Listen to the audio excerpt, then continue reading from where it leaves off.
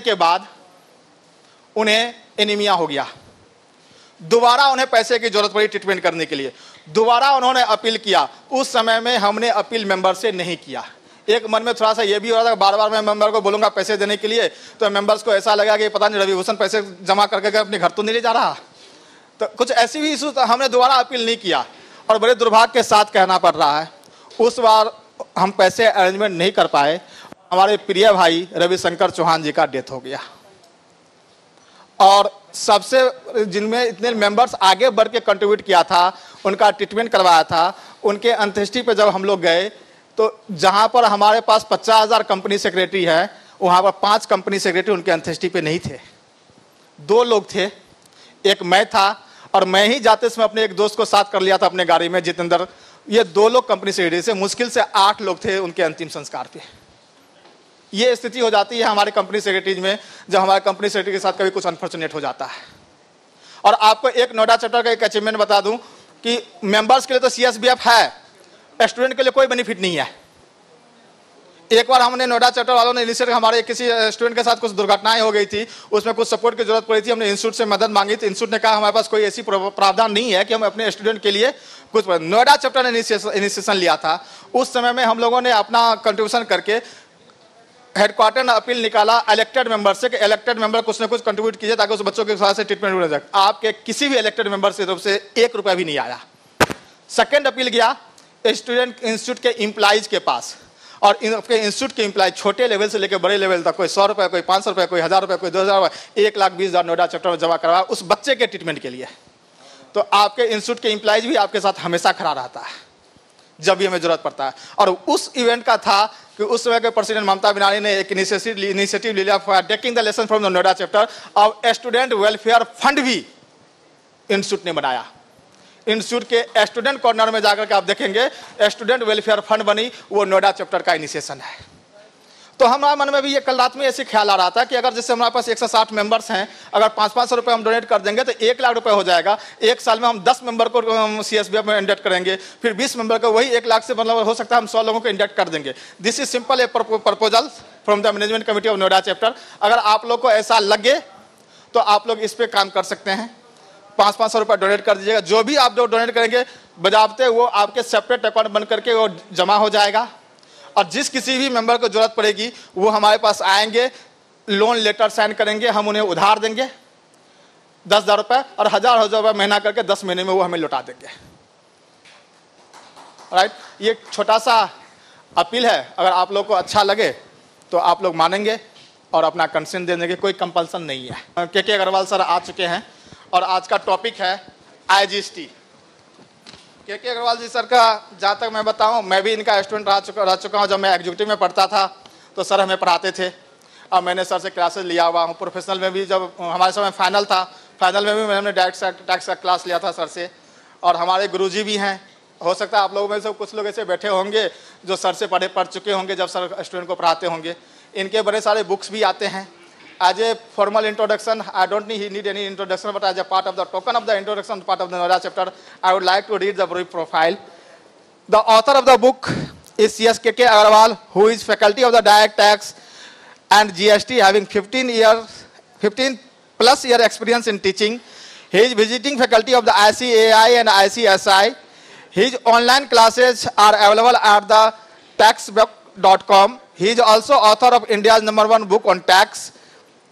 His writing and teaching is evolved in this quote, your education in tax is best if you can give tax advice. The tax advice is possible only when you are able to understand in-depth knowledge of tax in depth, theory and practical.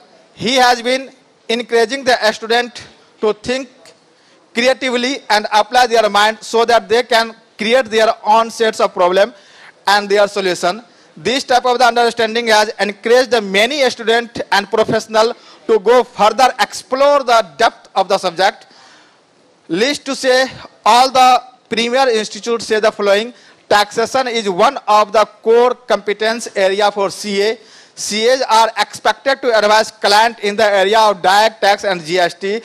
I can say with the 100% confidence that this book and his lecture shall make, shall make the interesting and encouraging to you and make the company secretary perfect to deal with the GST. My favorite quote, never say die. This never fail can be felt in books and videos. Both, sir, I welcome you on the behalf of Noda chapters. I would like to request any two member, please come forward and present the Bhupendra, please come. And Sudhanshu. Please join. Thank you. Welcome you, sir, on the behalf of Noida chapter. Now this class is yours. Friends Ravi ji Nishchit ji Kushal ji thank you so much they were all my pass students I am so proud of them और यहाँ पर कोई ऐसा है जो मेरा पहला student रह चुका है जिसको मैं पहचान नहीं पा रहा हूँ एक दो अरे वाह हेलो गुड गुड मुझे लग रहा है, कितने लोग कंपनी सेक्रेटरी हैं? कंपनी सेक्रेटरी बहुत बढ़िया। कितने लोग प्रैक्टिस में कंपनी सेक्रेटरी प्रैक्टिस एक्सीलेंट और कितने लोग स्टूडेंट्स हैं? गुड और non company secretary non students chartered accountants को प्रैक्टिस ओके कोई बात नहीं। कितने लोग चाह रहे हैं जीएसटी में प्रैक्टिस करना। ऑलमोस्ट सारे लोगों को चाहना चाहिए क्योंकि आप हैं इसलिए क्योंकि आप जीएसटी में प्रैक्टिस करना चाहते हैं। गुड तो एक चीज़ तो निश्चित है कि 60 परसेंट लोगों ने अभी तक रिटर्न फ़ाइल नहीं किया है। तो there is a huge huge opportunity GST में। मेरी जीएसटी की जर्नी कैसे हुई थी ये बता देता हूँ। I am by qualified I am company secretary and I can proudly say I am a product of a company's uh, tax, not company law. Because right from the very beginning, I was into income tax, then indirect tax, and now to GST. My main focus area was students, never, it was never that company secretary in practice or chartered accountant in practice. GST ने मुझे खींच लिया कैसे खींचा ये भी बता देते हैं आपको मैं अपने स्टूडेंट्स को वैट पढ़ा रहा था वैल्यू एडेड टैक्स उसमें मैंने दो चार लाइन पाँच मिनट करीब करीब, मैंने section nine sub section four पे बोला था और कहा था this is the most dangerous section of GST उसमें पॉइंट यही कहा था कि every person who is in practice whether chartered accountant practice company secretary in practice they will be forced to take registration GST नहीं force करेगा, लेकिन market will force to take them registration. Why so? Because if I am procuring any goods or services from any unregistered person, then you need not pay GST because you are not registered. You are not registered because your supply aggregate turnover all India basis is less than 20 lakh. Therefore, you did not get yourself registered. Therefore, I, when I am procuring from an unregistered person, I will be paying your GST तो इससे हुआ क्या? अब मैं कहूँगा कि मैं आपकी सारी फॉर्मेलिटीज क्यों करूँगा? तो इसीलिए जिस दिन आप प्रैक्टिस शुरू करेंगे, और बिज़नेस किसी भी बिज़नेस हाउस को अगर आप ऑडिट करते हैं तो बिज़नेस हाउस बोलेगा, सबसे पहले आप अपने आप को रजिस्ट्रेशन करवाएँ. इसके एक्सेप्शन हैं, इसके एक्सेप्शन हैं, लेकिन हम लोग ये कभी किसी और वक्त डिस्कस कर लेंगे। तो वो जो डेंजरस सेक्शन जब मैंने डाला यूट्यूब पे तो बहुत ज़्यादा पॉपुलर हो गया और इसकी व्यू अराउंड दो लाख से भी ऊपर है, एक महीने के अंदर अंदर उससे मैंने ये सोचा था, मैं जीएसटी में धीरे धीरे स्टूडेंट्स के साथ आऊँगा, लेकिन उस यूट्यूब ने इतना ज़्यादा खींच लिया, लोगों के बहुत सारे सवाल आने लगे। उसके बाद मैं यूट्यूब पे वीडियो पे वीडियो बनाता गया और बाई चांस पॉपुलर भी हो गया। आज जो हम लोग का टॉपिक है, वो है IGST integrated goods and service tax मुझे एक बात बताइए। सप्लाई ऑफ़ गुड्स और सर्विसेस लेवाई है? सीजीएसटी एक्ट में भी लेवाई का सेक्शन है और आईजीएसटी एक्ट में भी लेवाई का सेक्शन है। आप लोग कितने लोगों के पास ये, मैंने कहा था आईजीएसटी का एक्ट आप प्रिंट आउट लेके आना ताकि आपको समझ में आए जो मैं बोल रहा हूँ। क्योंकि यहाँ पर दिखाना बड़ा मुश्किल हो रहा है। ऊपर सेक्शन फाइव होगा section five IGST act section five that is levy आपके मोबाइल फ़ोन में तो आप ऑन कर लो उसको।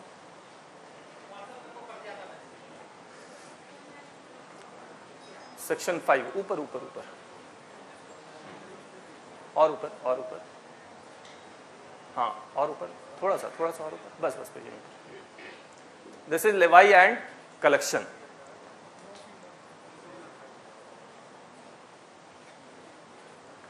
आप इसको अगर पढ़ेंगे तो लिखा हुआ subject to the provisions of section five subsection two there shall be levied tax called integrated goods and service tax मैं आपसे एक इंटरेस्टिंग सवाल पूछना चाह रहा हूँ।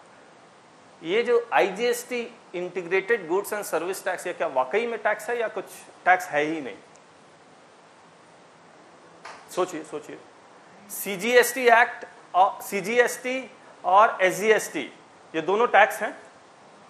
क्या ये टैक्स है या कुछ और ही मैकेनिज्म है ये? बताइए, सोचिए। नाम से तो टैक्सी लग रहा है ऑब्वियसली नाम से तो टैक्सी लग रहा है। लेकिन बेसिकली ये टैक्स है नहीं it is a mechanism to move goods from one state to another state from one state to another union territory why I am not calling it tax because कि जब भी आईजीएसटी कोई देगा तो उसका पूरा का पूरा क्रेडिट मिल जाता है। और आईजीएसटी में रजिस्ट्रेशन करवाना आईजीएसटी लग रहा है, यानी कि जो भी सप्लाई कर रहा है इंटरस्टेट्स उसको रजिस्ट्रेशन करवाना कंपलसरी है। अब आप देखिए गवर्नमेंट को रेवेन्यू कैसे मिलता है, आप ये जा सोचिए, इसमें एक सेक्शन 17 और दूसरा एक सेक्शन 18 है। एक बार निकालेंगे एकदम नीचे में मैं आपको पूरा सिस्टम समझाता हूँ गवर्नमेंट को रेवेन्यू कैसे मिलता है। आपके पास प्रिंट आउट है तो उसमें भी निकाल लेना सेक्शन 17 और सेक्शन 18 एकदम नीचे होगा। ये मेरी किताब है, इसको हम आसान करने के लिए इसको हम टेबल फॉर्म एग्जाम्पल्स बहुत सारा कुछ लिखते हैं इसमें। ये सारे टेबल्स बने हुए प्लेस ऑफ़ सप्लाई एग्जाम्पल्स के साथ। ये किताब लेकिन अभी पूरी नहीं है, इसलिए ऑब्वियसली दे नहीं पाया। काम चल ही रहा है।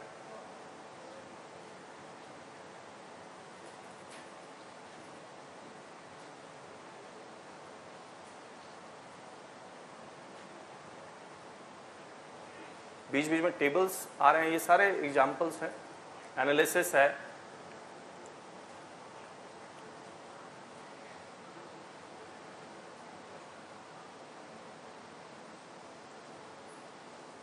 चलिए गवर्नमेंट को एक बात सोचिए, मैंने आपको सामान बेचा, आप फर्दर बेचेंगे तो मैं अगर सौ रुपया का आपको सामान बेचता हूँ और दस रुपये टैक्स लेता हूँ तो आपके बिहाफ पे दस रुपया मैं गवर्नमेंट को जमा करवा देता हूँ।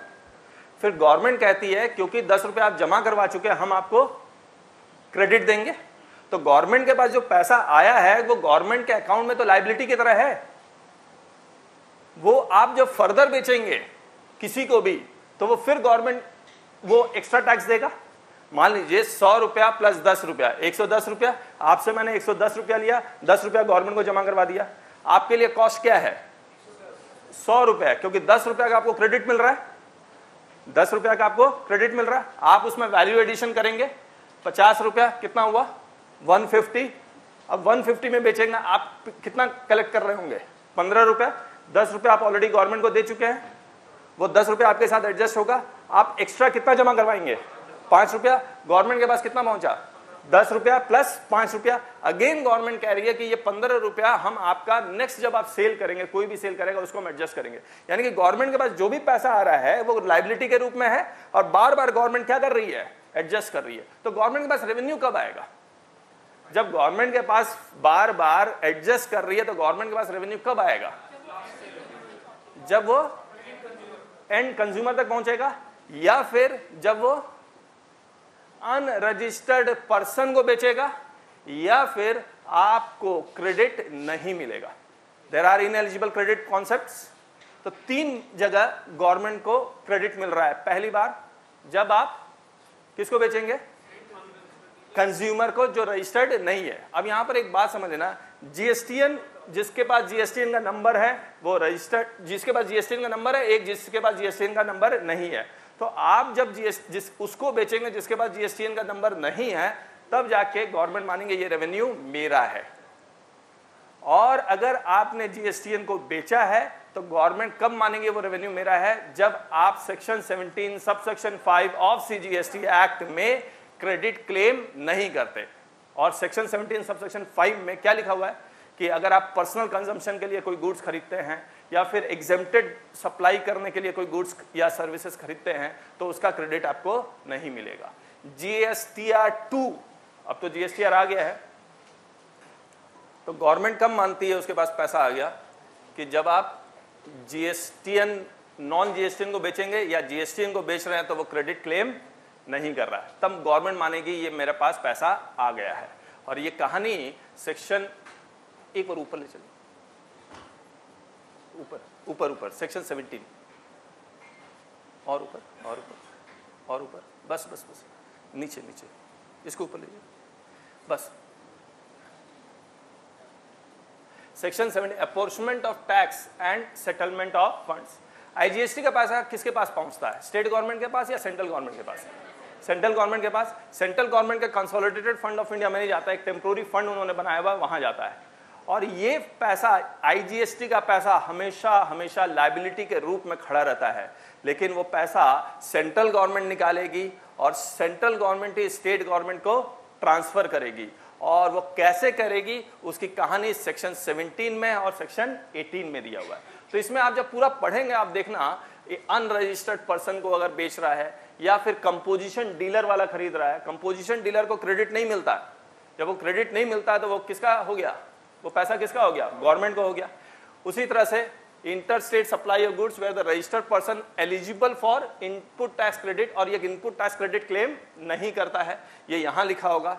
और import of service import of goods जहाँ पर आप रिफंड नहीं क्लेम करते हैं तो वहाँ पर भी ये सारा कुछ किसका पैसा हो जाएगा? गवर्नमेंट तो मैं डिटेल में नहीं जा रहा हूँ। इसमें यही कहानी यह है कि गवर्नमेंट को पता कैसे लगता है? कि मैंने अनरजिस्टर्ड को बेचा, मैं किसी जीएसटीएन वाले को बेचा, लेकिन उसने क्रेडिट क्लेम नहीं किया, ये पता कैसा लगता है? पता कैसे लगता है? रिटर्न में।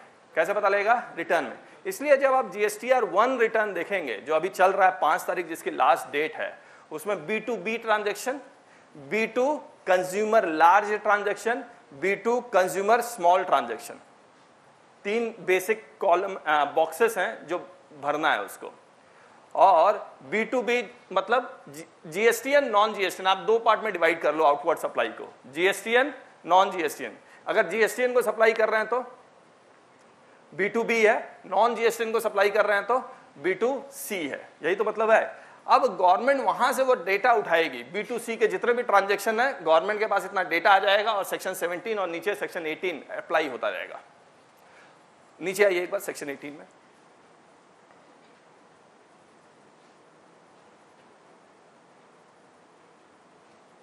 Transfer of input tax credit मैंने इंटर स्टेट परचेज किया। इंटर स्टेट परचेज किया। मुझे कौन सा टैक्स लगा होगा? आईजीएसटी मुझे क्रेडिट कौन सा मिलेगा? आईजीएसटी अब मैं लोकल सेल कर रहा हूँ। तो मेरा आउटपुट टैक्स क्या है? सीजीएसटी और एसजीएसटी समझ में आ रहा है? उसके लिए सेक्शन 18 है। जब जब सीजीएसटी और एसजीएसटी आईजीएसटी के साथ एडजस्ट होगा तो गवर्नमेंट ये मानेंगे ये मेरा पैसा है। और सेक्शन 18 में वो फंड निकाल लिया जाएगा। ठीक है? ऊपर आइए। तो आप 17 और 18 आप अब पढ़ लेना, मैंने आपको आइडिया दे दिया एक बार।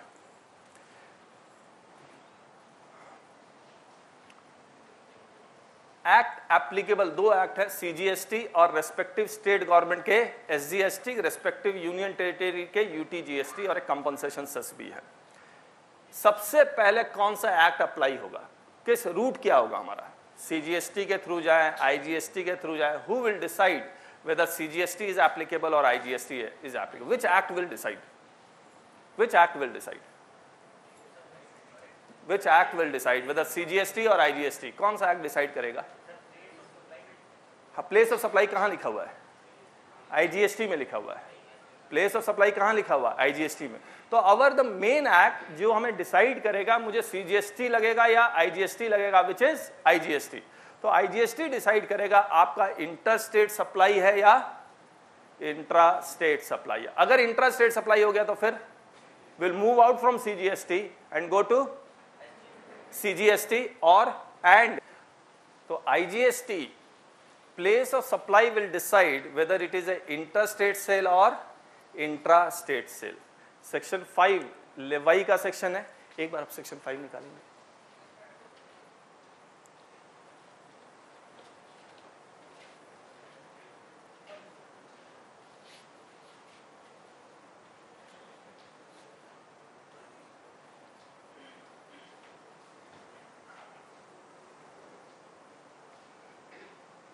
आप है ना, यहाँ पर पेज नंबर ट्वेंटी डाल दो।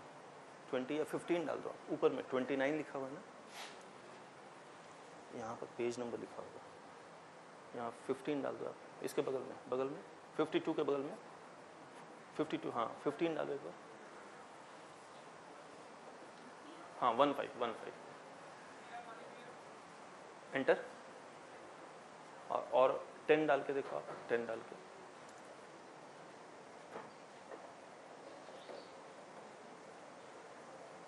हाँ। थोड़ा सा ऊपर कर दो थोड़ा सा ऊपर। और ऊपर और ऊपर। पढ़ते हैं इसको एक बार। Subject to the provision of section five subsection two अगर आपके पास बुक है तो आप देखिए फाइव सबसेक्शन टू में कॉन्स्टिट्यूशन ऑफ़ इंडिया ने आ, कुछ प्रोडक्ट्स को ऐसे ही बाहर कर दिया जैसे manufacturing of alcohol alcoholic liquor for human consumption और पेट्रोलियम प्रोडक्ट्स को अभी फ़िलहाल कॉन्स्टिट्यूशन ने बाहर किया है लेकिन जीएसटी काउंसिल डिसाइड करेगा तो वो पेट्रोलियम प्रोडक्ट्स पे भी जीएसटी लगने लगेगा। अभी पेट्रोलियम प्रोडक्ट्स पे सेंट्रल गवर्नमेंट एक्साइज लगाती है और स्टेट गवर्नमेंट वैट लगा रही है। तो ये फाइव सबसेक्शन टू नीचे वाला इंटीग्रेटेड टैक्स ऑन पेट्रोल लिखा होगा। थोड़ा सा नहीं, बस। सब्जेक्ट, नहीं नहीं, ऊपर ऊपर ऊपर ऊपर ऊपर। बस। Subject to the provisions shall be levied a tax called integrated goods and service tax on all inter state supplies of goods और सर्विसेस और both except on the supply of alcoholic liquor for human consumption वो किस लिए निकाला गया आपको समझ में आ गया? अच्छा alcoholic liquor for human consumption में एक्साइज लगता है? स्टेट और वैट लगता है? कौन लगाता है? State government on the value determined under section 15 of CGST act यानी कि आईजीएसटी तो लगेगा, लेकिन उसका वैल्यूएशन हम लोग कैसे करेंगे? एज पर सीजीएसटी एक्ट आगे at such rates not exceeding 40 percent इसका मतलब 20 plus 20 as may be notified by the government on the recommendations of the council collected in such manner as may be prescribed and shall be paid by a taxable person ना question is who is taxable person who is taxable person बोलिए who is taxable person who is liable to pay tax और इसमें आप देखना इसमें जो word taxable person defined है इसमें the person who is registered is a taxable person and interestingly इसके बाद की कहानी बड़ी इंटरेस्टिंग है। Person who is registered is a taxable person and the person who is liable for payment of tax is also a taxable person ना एक बात बताइए मैं मेरा एग्रीगेट टर्नओवर 15 लाख है। Am I a taxable person yes. If i get myself registered i automatically become a taxable person क्योंकि taxable person का definition क्या है any person who has got himself registered is a taxable person irrespective of the aggregate turnover तो अगर आप एक तारीख को आपने प्रैक्टिस स्टार्ट की और उसी दिन अगर आपने अपने अपने आप को रजिस्ट्रेशन करवा लिया you become a taxable person और सर्विस टैक्स में जो पहले था एग्जामेशन की लिमिट 10 लाख तक की यहाँ कोई लिमिट नहीं है अगर एक बार आपने रजिस्ट्रेशन करवा लिया, एक एक रुपए के ऊपर आपको जीएसटी देना पड़ेगा। अब मुझे एक बात बताइए, मेरा टर्नओवर है 25 लाख। एग्रीगेट टर्नओवर 25 लाख है। Am I a taxable person yes और no yes I have not got myself registered am I a taxable person मेरा टर्नओवर 25 लाख। मैंने अपने आप को रजिस्ट्रेशन नहीं करवाया। Am I a taxable person yes, i become a taxable person. Now, when should i get myself registered? When should get suppose on 1st july before 1st july my turnover was more than 25 lakh and i was supposed to get myself registered by 31st july but i got myself registered after 31st july what are the consequences कोई कुछ भी idea देखिए अगर मैं 31st जुलाई को registration करवा लेता तो मेरा इफ़ेक्टिव डेट ऑफ़ रजिस्ट्रेशन क्या होता फ़र्स्ट जुलाई क्या होता फ़र्स्ट जुलाई तो फ़र्स्ट जुलाई से जितने भी मैं इन्वॉइसेस मैंने काटा है, वो जीएसटी का नेटवर्क एक्सेप्ट करेगा। लेकिन अगर मैंने थर्टी फ़र्स्ट जुलाई के बाद रजिस्ट्रेशन करवाया है तो मेरा इफ़ेक्टिव डेट ऑफ़ रजिस्ट्रेशन होगा, जिस दिन वो रजिस्ट्रेशन दे रहा है। मान लो मैंने 20 अगस्त को रजिस्ट्रेशन करवाया तो मेरा इफ़ेक्टिव डेट ऑफ़ रजिस्ट्रेशन क्या होगा? ट्वेंटी अगस्त। और ट्वेंटी अगस्त से के पहले आपने जो भी इन्वॉइस काटा है, क्या वो जीएसटी नेटवर्क एक्सेप्ट करेगा या नहीं करेगा? तो सीजीएसटी एक्ट में एक सेक्शन फोर ज़ीरो है, उसमें अगर किसी ने ये गलती कर दी कि वो 31 जुलाई को रजिस्ट्रेशन ना करवा पाया, मैं ये प्रैक्टिकली बता रहा हूँ आपको, आप अपने क्लाइंट को ये एडवाइस कर सकते हैं। अगर 31 जुलाई को रजिस्ट्रेशन नहीं करवाया, उसके बाद करवाता है तो भी वो एक जुलाई से जितना भी उसका इन्वॉइस है, वो जमा कर सकता है। उसके बाद ताकि आप अगर नहीं करेंगे तो बाद में पकड़े जाएँगे तो गवर्नमेंट बोलेगी, आपने एक जुलाई से लेकर 19 अगस्त तक आपने टैक्स की चोरी करने की कोशिश की थी। तो इसीलिए आप एक जुलाई से जब, अगर आपका इफ़ेक्टिव डेट 20 अगस्त है, उससे पहले का जितना भी इनवॉइस इनवर्ड और आउटवर्ड आप जमा करवा दीजिए। फिर अलग सेक्शंस आएगा जिसमें गवर्नमेंट इस चीज़ को रेक्टिफाई करेगी। तो ऐसे प्रैक्टिकल केस हुए हैं माइग्रेशन में, जहाँ पर मेरा फर्म का PAN number A B C D है। मेरे इसमें दो पार्टनर हैं, जिसका PAN number X Y Z है। तो माइग्रेशन के वक्त उन्होंने जो रजिस्ट्रेशन दिया, वो एक्स वाई जेड के नाम से दे दिया। फॉर्म के नाम से देना था। किसके नाम से दे दिया? एक्स वाई जेड अब ये कानपुर का केस है। तो इसने क्या किया? कानपुर के असिस्टेंट कमिश्नर ऑफ़ जो भी जीएसटी हैं, उन्होंने एडवाइस किया, नया रजिस्ट्रेशन ले लो। तो नया रजिस्ट्रेशन लिया थर्टी जुलाई के बाद 20 अगस्त या 23 अगस्त को। अब उनका इफ़ेक्टिव डेट क्या हो गया? 23 अगस्त। फिर फंस गए। एक जुलाई से वो फिर उनको, अब ऑप्शन क्या है उनके पास? एक जुलाई से पूरा इन्वॉइस डालना। और जिनसे जिनसे उन्होंने खरीदा है वो उनसे रिवाइज इन्वॉइस लेंगे ये वाला करेक्ट डाल के और जिनको जिनको उनको बेचा है उनको वो रिवाइज इन्वॉइस देंगे तब जाके ये पूरा सिस्टम उनका ठीक होगा है तो taxable person provided that the integrated tax on goods imported into India shall be levied and collected in accordance with the provisions of section 3 of the custom tariff act अगर आप इंपोर्ट ऑफ़ गुड्स करते हैं तो इसको inter state supply माना गया। If you are importing goods या importing services it will be treated as inter state supply तो कौन सा कौन सा टैक्स लगेगा? दोनों में इंपोर्ट ऑफ़ गुड्स और आईजीएसटी लगेगा। मैं वैल्यूएशन कैसे करूँगा? इंपोर्ट ऑफ़ गुड्स मुझे आईजीएसटी क्या कह रहा है? वैल्यूएशन कैसे करने के लिए सेक्शन 15 के अकॉर्डिंग अगर मैं इंपोर्ट ऑफ़ गुड्स करता हूँ तो मैं वैल्यूएशन कैसे करूँगा? एज पर कस्टम्स एक्ट करूँगा या as per C G S T act section fifteen करूँगा?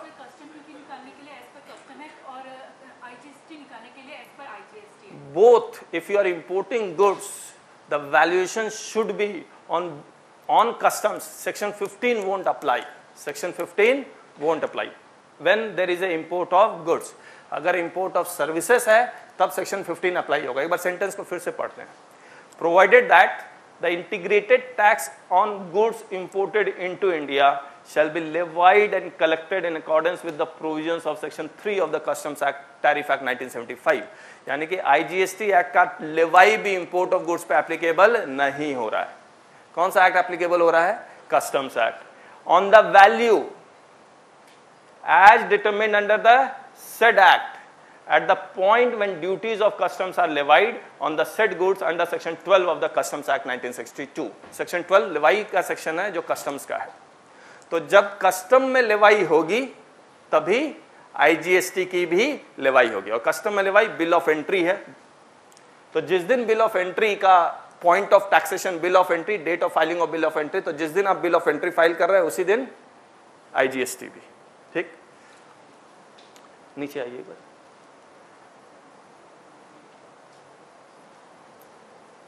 Five three and five four are similar to section nine subsection three of the CGST act and section nine subsection four of the CGST act now nine क्या है? Reverse charge and that reverse charge is compulsory reverse charge. Section 9 subsection 3 is a compulsory reverse charge. और in fact maximum जो list है, वो वही है जो service tax में थी. तो रेप्लीकेटेड है. थोड़े बहुत चेंजेस हैं। तो वही section five sub section three है। तो अगर मैं गुड्स और सर्विसेज़ प्रोक्योर कर रहा हूँ लोकली तो कौन सा सेक्शन कौन सा सेक्शन जिस पे रिवर्स चार्ज लग रहा है तो नाइन सबसेक्शन थ्री और अगर मैं गुड्स और सर्विसेज़ प्रोक्योर कर रहा हूँ इंटरस्टेट तो section five subsection three if I am procuring goods और services from a unregistered person locally तो nine subsection four if I am procuring goods और services interstate then section five subsection four concept समझ लेते हैं इसका एक बार। अगर रिवर्स चार्ज लगता है, सबसे खुश कौन है जीएसटी में, पता है आपको? Who is the most happiest person of this world in GST मतलब जीएसटी आ गया, बहुत अच्छा हुआ अच्छा लग रहा है, बहुत। नहीं गवर्नमेंट नहीं है। गवर्नमेंट नहीं है। अनरजिस्टर्ड भी नहीं है। वकील है, वकील। कितने लोग वकील हैं यहाँ पर? आप वकील से कोई भी सर्विसेज़ ले लो। कंपलसरी रिवर्स चार्ज वकील बोलता मुझे जीएसटी के बारे में क्या पता? I cannot apply the law I cannot understand the law why so because compulsory reverse charge पहले भी था सर्विस टैक्स में? यहाँ भी है। C A forward charge company secretary practice forward charge cost accountant forward charge every professional has forward charge except advocates except advocates and they are very happy क्यों? क्यों उसको सर्विस जीएसटी से ना return भरना है, ना अकाउंटिंग रखनी है, कुछ नहीं करना है। इनकम टैक्स भी में देना तो है ही। अब आप सोच के देखिए, अगर मैं वकील की सर्विसेज़ अवेल करता हूँ तो दर्द किसको हो रहा है? मुझे हो रहा है। एक तो वकालत का फ़ीस दूसरा वो डिस्प्यूट और दूसरा उसका जीएसटी वकील का जीएसटी मैं दू। फिर उसका क्रेडिट भी मुझे ही मिलेगा। इट्स गुड क्रेडिट तो मिल रहा है। तो यहाँ पर अब एक बात बताइए, मैं बिज़नेस हाउस हूँ। मेरा टर्नओवर 10 लाख है या 19 लाख है। और मुझे वकील की सर्विसेज़ चाहिए। क्या मुझे जीएसटी में रजिस्ट्रेशन करवाना करवाऊँगा तभी मैं अवेल कर सकता हूँ? या बिना रजिस्ट्रेशन करवाए मैं जीएस वकील का सर्विसेज़ अवेल कर पाऊँगा? हाँ किसको? हाँ मना नहीं किया ऑब्वियसली नहीं मना किया है। लेकिन आप याद रखिएगा अगर आपकी वकील की सर्विसेज़ आप अवेल करते हैं रिवर्स चार्ज लग जाता है तो आपको रजिस्ट्रेशन करवाना कंपलसरी है। समझ में आ रहा है क्या बोलना चाह रहा हूँ मैं? हाँ वो नहीं है वो नहीं एडवोकेट एडवोकेट आप उसमें। मैं स्टूडेंट लाइफ में स्टूडेंट्स को जब मैं पढ़ाता हूँ तो मैं एक आ, क्या बोलते हैं उसे? एक हम लोग रूल बनाया हुआ हमने क्लास का। तो वो क्लास का रूल हम लोग स्टूडेंट के साथ तो फॉलो करते ही करते हैं। मैं चाह रहा हूँ कि अगर आपकी परमिशन हो आपके साथ भी फॉलो करें। करें? अब मैं जब भी पूछूँ कि आपको समझ में आया या नहीं आया तो आपको मैं पूछूँगा कैसे ये बता देता हूँ मैं पूछूँगा आया। आपको कहना है आया। आपको यस सर नो सर नहीं कहना है। आपको सिर्फ़ क्या कहना है? आया। तो एक बार प्रैक्टिस करते हैं ताकि मुझे समझ में आया कि आपको आया है। आया, आया। नहीं आप सब आपको कहाँ आया? मुझे सुनाई नहीं दे रहा। मैं एक बार फिर से आया। गुड स्टूडेंट देखिए मैं भी आज जीएसटी का स्टूडेंट हूँ। मैं आपसे बहुत इनपुट लेके जाऊँगा और नेक्स्ट लेक्चर में इनबिल्ड कर दूँगा। तो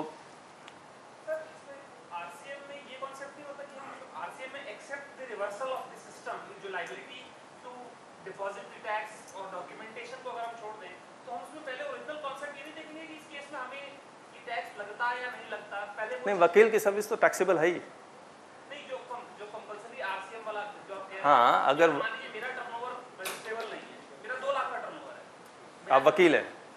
मैं वकील नहीं हूँ मैं क्लाइंट हूँ वकील है मैं उससे सर्विसेज़ लेता हूँ। हाँ। मेरा दो लाख का टर्नओवर है मैं अदरवाइज़ रजिस्ट्रेबल नहीं हूँ हाँ हाँ। I am not liable to register लेकिन अगर मैं उससे सर्विस लेता हूँ तो क्योंकि उसकी कंपलसरी आरसीएम में कवर्ड है हाँ। मुझे रजिस्ट्रेशन लेना पड़ेगा। Correct correct yes this is the case compulsory reverse charge में जो भी आ गया क्योंकि लाइबिलिटी किसकी है तो ये सिर्फ़ 93 के लिए है ओनली फॉर 93 नहीं नहीं only 93 and 53 not for unregistered तो अब आप समझिए इस चीज़ हाँ है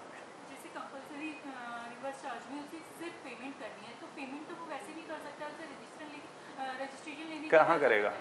वो तो पोर्टल में जाके पेमेंट होगी। तो कैसे होगा? तो you need to get yourself registered तो नाइन लिस्ट ज़रूर देख लें आप कि कौन कौन है। तो G T A goods transport agency compulsory reverse charge में। और जब ये आया था तो हमने एक यूट्यूब में वीडियो बना के डाल दिया था।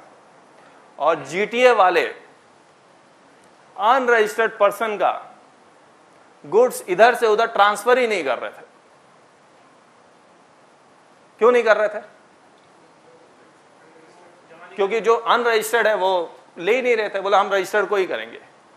आप समझ लीजिए 30-35 दिन तक इकोनॉमी का, क्योंकि most of the economy dependent on trucks मेरे पास कलकत्ता से, बॉम्बे से फ़ोन आने लगे, सर, क्या करें? इसका क्या उपाय क्या है? मैंने उनको यही कहा था, इंतज़ार करो, शायद फॉरवर्ड चार्ज आ जाए। और जीटीए में फॉरवर्ड चार्ज आया, कितना? 12 परसेंट। कितना? इसीलिए गवर्नमेंट को लेके आना पड़ा फॉरवर्ड चार्ज जीटीए को। फिर उसके बाद और भी बहुत सारी चीज़ें हैं लेकिन हम लोग फोकस करते हैं। हाँ।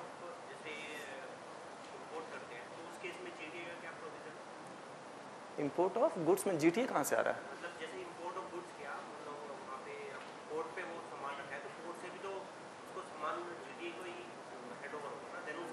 करेंगे? वैसे करते हैं करते हैं। नीचे आना नीचे आना। एक minute five four five four discuss करते हैं five four problem with this five four is that how to apply ये कैसे, ये एप्लीकेबल कैसे होगा? फाइव फोर लिखा हुआ तो है, लेकिन ये एप्लीकेबल कैसे होगा? वकील मान लो, वकील का ही एग्ज़ाम्पल ले लेते हैं। मैं दिल्ली में रजिस्टर्ड हूँ, और वकील रजिस्टर्ड है, मान लो बॉम्बे का। और मैं, या फिर यूँ कर लेते हैं अनरजिस्टर्ड पर्सन है, कहाँ का? बॉम्बे का। मुझे उससे सामान खरीदना है। ठीक है? बताइए। फाइव थ्री या five four five four every one agrees five four मुझे प्रॉब्लम है फाइव फोर क्यों? कैन आई परचेज या प्रोक्योर गुड्स और services from a unregistered person who is situated not in my state? Because interstate supplies he has to yes. अब वो unregistered person अगर inter state supply कर रहा है तो उसको तो रजिस्ट्रेशन करवाना कंपलसरी है। तो think of a why five three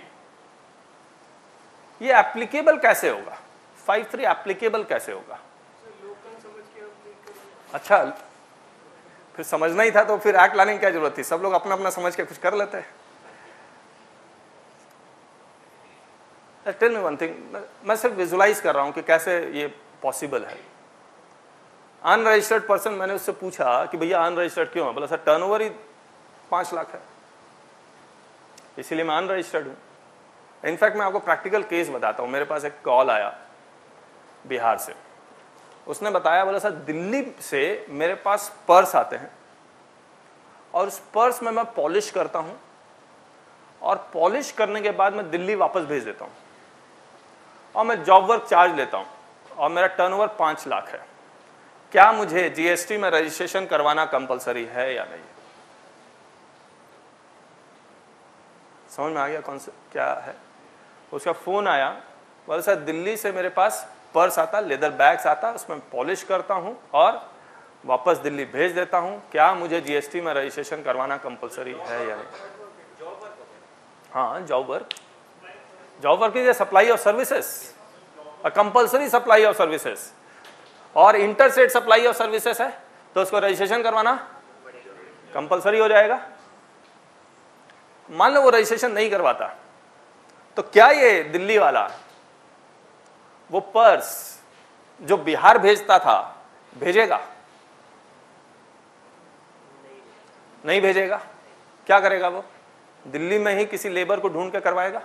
अब जीएसटी में देखिए इकोनॉमी को किस तरह से फ़र्क पड़ रहा है कि economy one nation one tax लेकिन जिस तरह के ये फाइव थ्री आया है it is forcing localise trading it is forcing localise trading और ये डेंजरस है।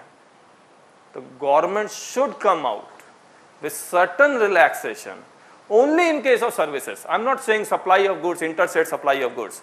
But i want to request the government that they give some relaxation for interstate supply of services so that they, उन छोटे छोटे लोगों को registration करवाने की ज़रूरत ना पड़े। ठीक है? तो ये फाइव थ्री फाइव फोर का एक प्रैक्टिक सॉरी हाँ फाइव फोर का एक प्रैक्टिकल था। नीचे आइए। फाइव फाइव हम लोग छोड़ देते हैं। ई कॉमर्स ऑपरेटर अभी एप्लीकेबल नहीं हुआ तो जब होगा तब देखेंगे। नीचे आइए। एग्जामेशन छोड़ देते हैं। अच्छा ये रिवर्स चार्ज तभी एप्लीकेबल होगा if there is a exempt supply if there is a taxable supply exempt supply में रिवर्स चार्ज एप्लीकेबल नहीं होता। नॉन जीएसटी सप्लाई में रिवर्स चार्ज एप्लीकेबल नहीं होता। वकील टैक्सेबल है ना? ऊपर है। ऊपर। नहीं नहीं नहीं। मतलब twelfth page thirteen thirteen page पे आइए। हाँ और ऊपर और ऊपर। बस बस बस। Section seven sub section one will decide whether it is a inter supply या स्टेट सप्लाई देखते हैं। Section seven sub section supply of goods in different states treated as inter supply और different union territories subject to the provisions of section 10 supply of goods where the location of the supplier and the place of supply. अब इसी पे ध्यान दीजिए। Location of the supplier का मतलब क्या होता है what you mean my location of supplier? Where his is situated. Is it जहाँ registered office as per companies act और. ओके ओके तो जहाँ जिस स्टेट में मैंने रजिस्ट्रेशन करवाया है that is my location of supplier if I am registered in 10 different states then all that 10 different states can be a location of supply or it will be that place from where the, I am making the supply from that place where I am making the supply that if, अगर किसी के पास एक से ज्यादा registration है then you have to identify that location of supplier and the place of supply are in two different states two different union terri- territories or a state or a union territory shall be treated as supply of goods in the course of interstate trade or commerce even नीचे ये कुछ examples देते हैं इधर वो example ऊपर ऊपर। बस। Location of supplier of goods MP Bhopal place of supply of goods ये डिटरमाइंड होगा सेक्शन 10 में। तो मैं आपको करवाऊँगा सेक्शन 10 में। इंटरेस्टिंग है सेक्शन 10 भी। वो एमपी ग्वालियर में है। और इंटरस्टेट या इंट्रास्टेट तो ये इंट्रास्टेट बिकॉज़ बोथ आर और इसमें कहीं नहीं लिखा हुआ है कि जिस, जो गुड्स खरीद रहा है, वो रजिस्टर्ड हो या अनरजिस्टर्ड क्लियर है? जो बेच रहा है उसको रजिस्टर्ड होना चाहिए या नहीं होना चाहिए? हेलो जो बेच रहा है उसको रजिस्टर्ड होना चाहिए? हाँ या ना? हाँ? नहीं तो वो तो जीएसटी में आएगा ही नहीं। तो जो बेच रहा है उसको रजिस्टर्ड होना चाहिए। जिसको बेच रहा है वो रजिस्टर्ड हो सकता है अनरजिस्टर्ड हो सकता है कंपोजिशन डीलर हो सकता है या कंज्यूमर हो सकता है। चार। फिर second MP UP interstate third Tamil Nadu Pondicherry मैंने जानबूझ के पौंडीचेरी का एग्जांपल लिया कि Pondicherry is in the union territory but located just बड़ा छोटा सा है, तमिलनाडु के मैप में। इंटरस्टेट दिल्ली पौंडीचेरी इंटरस्टेट दमन, लक्षद्वीप, दो यूनियन टेरिटरी के बीच में अगर ट्रांजेक्शन हो रहा है तो भी इंटरस्टेट है। नीचे आइए। बस section seven sub section two import of goods to be treated as interstate supply supply of goods imported into the territory of india till they cross the customs frontier of india समझ लीजिए इसका मतलब ये till the goods are cleared for home consumption bill of entry वाला उससे पहले shall be treated to be supply of goods in the course of interstate trade or commerce मुझे एक बात बताइए import of service reverse charge पे है import of service reverse charge compulsory reverse charge 9353 यही तो होगा। और इंपोर्ट ऑफ़ सर्विस अगर है तो इंटरस्टेट सप्लाई 53 लगेगा 93 तो नहीं लगेगा ना। इंपोर्ट ऑफ़ गुड्स पे रिवर्स चार्ज है। बोलो इंपोर्ट ऑफ़ गुड्स के ऊपर क्या रिवर्स चार्ज है? नहीं है, ज़रूरत नहीं पड़ी। क्यों नहीं ज़रूरत पड़ी? इंपोर्ट ऑफ़ गुड्स अगर हो रहा है, और import of service import of service में लिखना पड़ा it is reverse charge import of goods में नहीं लिखना पड़ा it is reverse charge Why?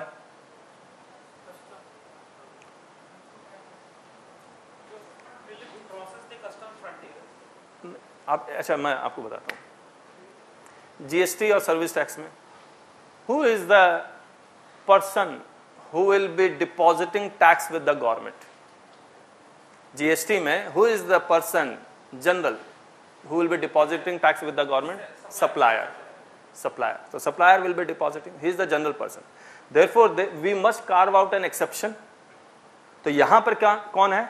Supplier की जगह हम लोग किसको लेंगे? इंपोर्टर ऑफ़ सर्विस को। तो यहाँ लिखना पड़ा।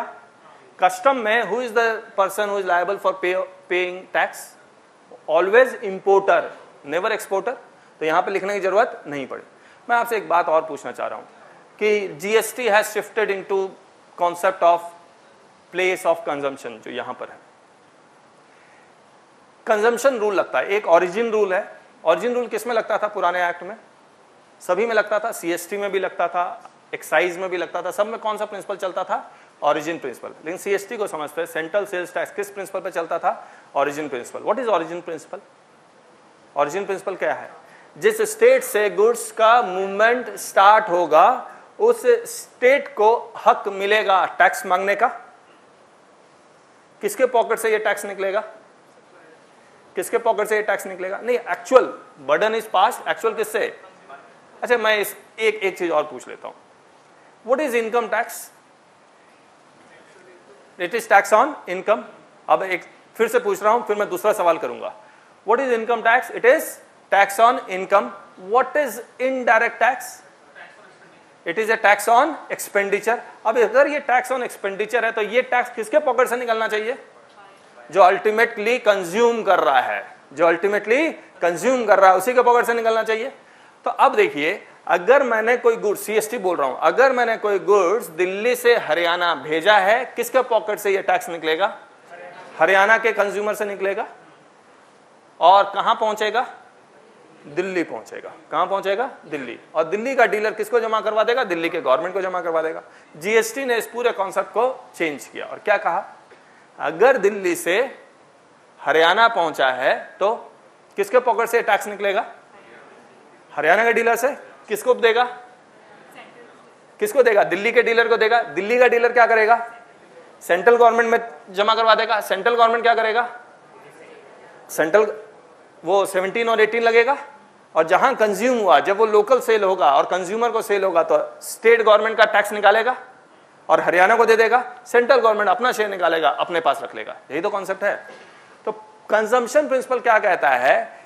जिसके पॉकेट से ये पैसा निकलता है जिस, जो खर्च करता है, उसके पॉकेट से टैक्स निकलेगा और उसको, उस गवर्नमेंट को हक मिलेगा जिस जगह वो खर्च हुआ है।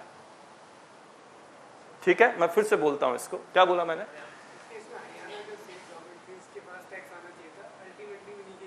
हाँ उन्हीं के पास, क्योंकि कंज्यूम वहाँ हुआ किस, किसके पॉकेट से ये पैसा निकलना चाहिए? कंज्यूमर के पॉकेट से? किस गवर्नमेंट को मिलना चाहिए? किस गवर्नमेंट को मिलना है जिस जगह वो कंज्यूम हुआ जिस जगह ये कंज्यूम हुआ ये पूरा का पूरा कॉन्सेप्ट को जीएसटी में अप्लाई कर, कैसे किया गया है, वो आईजीएसटी बता रहा है। तो आप अगर ये ध्यान रखेंगे कि जो जो, जिस स्टेट में आप रजिस्टर्ड हैं, जिस स्टेट में आप रजिस्टर्ड हैं। और आप अगर कहीं भी जाके खर्चा करेंगे, उस स्टेट को हक मिलना चाहिए या नहीं मिलना चाहिए पैसा का? जनरल कॉन्सेप्ट हम रूल में देखेंगे, बाद में क्या लेगा? थोड़े बहुत एक्सेप्शन होंगे इसके। मैं फिर से बोल रहा हूँ, इस कॉन्सेप्ट को आप दिमाग में रख लेंगे, आपको कभी कोई आईजीएससी तुरंत समझ जाएँगे। मैं फिर से बोल रहा हूँ, जिस स्टेट में आप रजिस्टर्ड हैं, आप पूरे इंडिया में कहीं भी खर्चा करो। दिल्ली जाके खर्चा करो, आप मान लो हरियाणा में रजिस्टर्ड है। आप दिल्ली जाके खर्चा करो, तमिलनाडु जाके खर्चा करो, इंडिया में कहीं भी जाके खर्चा करो, किस स्टेट को हक मिलना चाहिए टैक्स मांगने का? हरियाणा गवर्नमेंट को, क्योंकि आप रजिस्टर्ड कहाँ हैं? हरियाणा। खर्च कहाँ कर रहे हैं आप? दिल्ली में। लेकिन हक किसको मिलना चाहिए? हरियाणा। आप सोच के देखिए ना, क्यों ऐसा है? पाल कौन रहा है आपको? हरियाणा वाले? अगर हरियाणा वाला आपको पाल रहा है, आपको सारा लैंड दे रहा है इलेक्ट्रिसिटी दे रहा है वाटर दे रहा है रिसोर्सेज दे रहा है तो हरियाणा गवर्नमेंट वाला आपसे नहीं जाएगा टैक्स। तो कॉन्सेप्ट यही है, पूरे आईजीएसटी में एक्सेप्शन हैं। इसको आप जनरल रूल बना लेंगे, कहीं भी फंसे, ये वाला रूल अप्लाई कर दीजिए। 99 परसेंट आंसर वही निकलेगा जो ये लॉ कहना चाहता है इंटेंशन लिखा तो कुछ भी सकता है। थोड़ा बहुत रूल्स इधर उधर गलत भी लिखे हो सकते हैं। मैं आपको दिखलाऊँगा वो सारा कहानी। अब यहाँ देखिए, मैं जो पॉइंट जहाँ पर मैं ये समझाना पड़ा आपको इंपोर्ट ऑफ़ गुड्स में गुड्स कंज्यूम कहाँ हो रहा है? अगर मैं गुड्स इंपोर्ट कर रहा हूँ तो गुड्स कंज्यूम कहाँ हो रहा है? इंडिया में। कौन खर्चा कर रहा है? इंपोर्टर कौन खर्चा कर रहा है? इंपोर्टर कहाँ खर्चा कहाँ कंज्यूम हो रहा है? इंडिया में। किसको हक मिलना चाहिए? इंडिया को। तो यहाँ रिवर्स चार्ज लिखने की ज़रूरत थी नहीं। वहाँ लिखना का ज़रूरत पड़ा था। ठीक है? नीचे आइए। ये इंपोर्ट ऑफ़ गुड्स क्रॉसिंग ये सब छोड़ देता हैं डेफिनेशन है, और नहीं चाहिए सर्विसेज़ सेक्शन सेवन तो section seven subsection one section seven subsection two section seven subsection one था इंटरस्टेट सप्लाई ऑफ़ गुड्स और सेक्शन सेवन सबसेक्शन टू था इंपोर्ट ऑफ़ गुड्स क्योंकि वहाँ वैल्यूएशन हमें अलग करना था। और section seven subsection three services का सब कुछ सेम है। एक बार नीचे आप एक बार एग्ज़ाम्पल में। बस। Location of supplier of services वहाँ सप्लायर ऑफ़ गुड्स था। वहाँ place of supply of service वहाँ भी place of supply of goods था। सब कुछ सेम है। वहाँ पर डिटर्मिन हो रहा था सेक्शन 10 में और 11 में। यहाँ डिटर्मिन होगा 12 और 13 में। That is place of supply of services और location of supplier of service generally the place where it is registered it is determine under section two sub section fifteen that is the place where it is registered नीचे आइए बाकी example same है। Import of services to be treated as inter state supply import of goods के लिए अलग लिखा ही था। और यहाँ इंपोर्ट ऑफ़ सर्विसेज़ में लिख दिया supply of services import in to the territory of India shall be treated to be the supply of services in the course of inter state trade और कॉमर्स और खास बात अब अगर आप इंपोर्ट ऑफ़ गुड्स और import of services export of goods और export of services का डेफिनेशन देखेंगे तो इंपोर्ट ऑफ़ गुड्स और एक्सपोर्ट ऑफ़ गुड्स का डेफिनेशन में तो लिखा हुआ है, ये गुड्स इंडिया से बाहर गया तो क्या है? एक्सपोर्ट है। और इंपोर्ट क्या है? बाहर का गुड्स अगर इंडिया आया तो इंपोर्ट है। इंपोर्ट और सर्विसेज़ में सर्विसेज़ ना आया, ना गया। हो सकता सर्विसेज़ इंडिया का इंडिया में ही रह गया। तो भी इंपोर्ट और एक्सपोर्ट मान लिया जाएगा, इसके डेफिनेशन ही ऐसा है कि सप्लायर बाहर का होना चाहिए रिसीवर इंडिया का होना चाहिए फॉरेन एक्सचेंज इन्वॉल्व होना चाहिए तो इंपोर्ट एक्सपोर्ट ऑफ़ सर्विस मान लिया जाए। तो डेफिनेशन थोड़ा चेंज है, आप लोग पढ़िएगा तो आपको पता लगेगा। ये देखिए, ये इंपोर्ट ऑफ़ सर्विसेज़ का definition section two sub section eleven में लिखा हुआ है। The supplier of services import पड़ रहे हैं ना तो सप्लायर कहाँ होगा? बाहर होगा। लोकेशन आउटसाइड इंडिया रिसिपियंट कहाँ होगा? लोकेटेड इन इंडिया और the place of supply of service is in India और customs act provision do not apply in the case of import of service यानी कस्टम वैल्यूएशन अप्लाई नहीं होगा।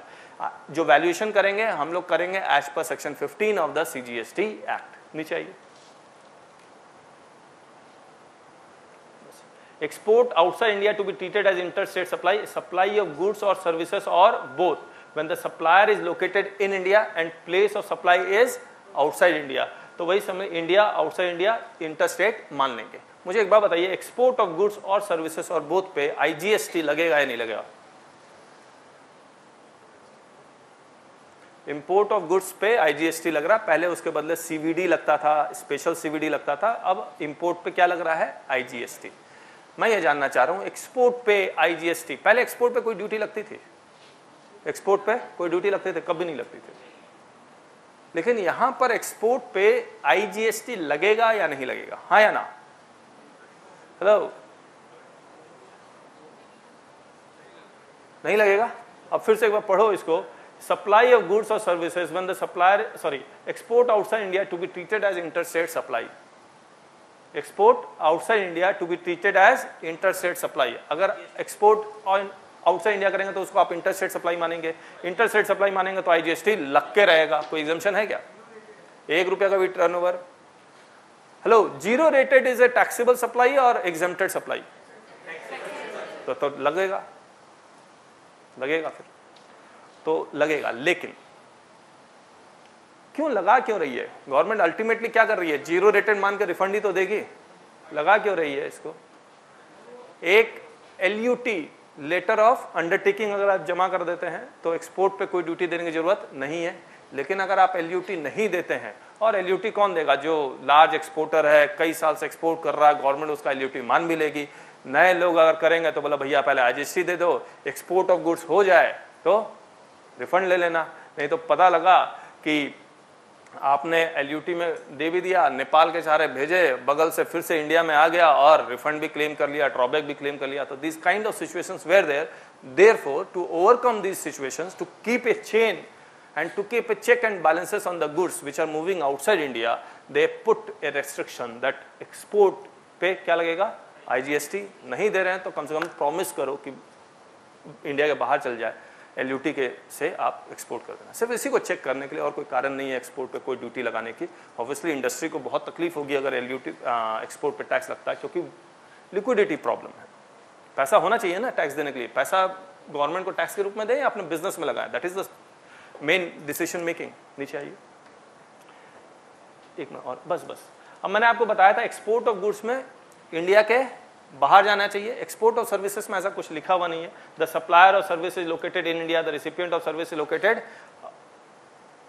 outside India ये गलत लिख दिया। The recipient of services export supplier of services located India ठीक है। Supplier of services is located India जिसको मैं सर्विसेज़ प्रोवाइड कर रहा हूँ that person is located outside India the place of services outside India, the payment for such service has been received by the supplier of service in convertible.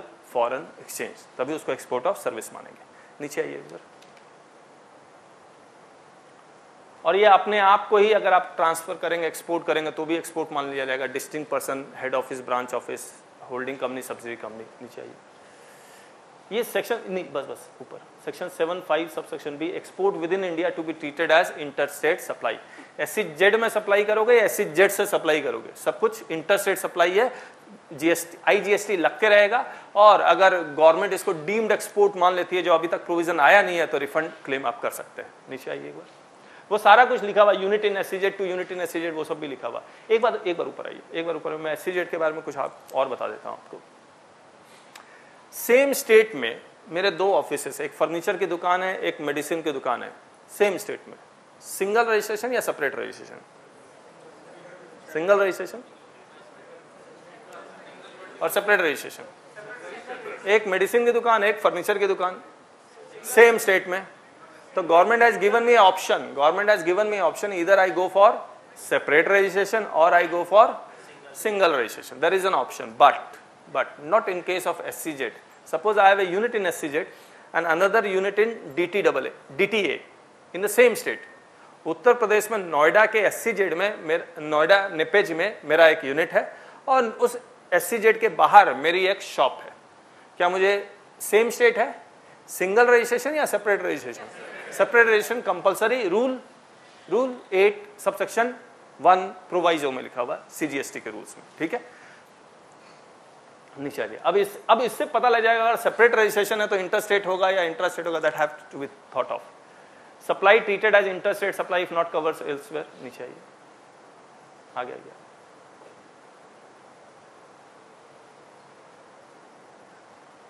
हाँ नीचे आइए location of the recipient of service एक बार नीचे आइए एक बार नीचे आइए बस बस बस, ऊपर ऊपर। अच्छा ऊपर ही, वो वाला, ऊपर वाला दिखा दीजिए आप। ऊपर ऊपर। बस बस बस। Section two subsection fourteen location of the recipient of services इसमें अगर आप देखेंगे तो इसको ठीक से पढ़िएगा। Where supply received at a place of business for which the registration has been obtain यानी कि अगर मैं जीएसटी में रजिस्टर्ड हूँ तो जिस स्टेट में मैंने सप्लाई ऑप्टेन किया है, वो मेरा लोकेशन ऑफ़ द रिसिपियंट हो जाएगा। और अगर where the supply receive at place other than place of business for which registration has been obtain तो मैंने अगर आ, मैं हेड ऑफ़िस मेरा मुंबई में है और मैं बैंक हूँ पंजाब नेशनल बैंक मैंने अपने जो बैंक ऑडिट चार्टर्ड अकाउंटेंट मैंने उनको कहा कि मेरा ब्रांच है तमिलनाडु में वहाँ जाके ऑडिट कर दो। समझ में आ रहा है क्या बोल रहा हूँ? तो मैं रजिस्टर्ड कहाँ हूँ? महाराष्ट्र में। आई एम हेड ऑफ़िस और मैंने सीए को एम्प्लॉय किया और कहा ऑडिट कहाँ, किस ब्रांच की कर दो? किसी और स्टेट की ब्रांच कर दो. तो who is receiving the service other state तो यहाँ पर जो जो the location of the where supply receive at a place other than the place of business for registration has been obtained a fixed establishment where the location of such fix establishment उसके बाद ISD का concept आएगा input service distributor का, जहाँ पर वो credit transfer कर सकता है, अगर वो वहाँ नहीं है तो। Where supply is receive at more than one place where the whether the place of business or fixed estimate, the location of the establishment most directly concerned with the receipt of the supply जो last वाला चाह रहा हूँ मैं उसमें आप सोचिए in absence of such place the location of the usual place of residence of the receipt ये कौन है? लास्ट में ये कौन है?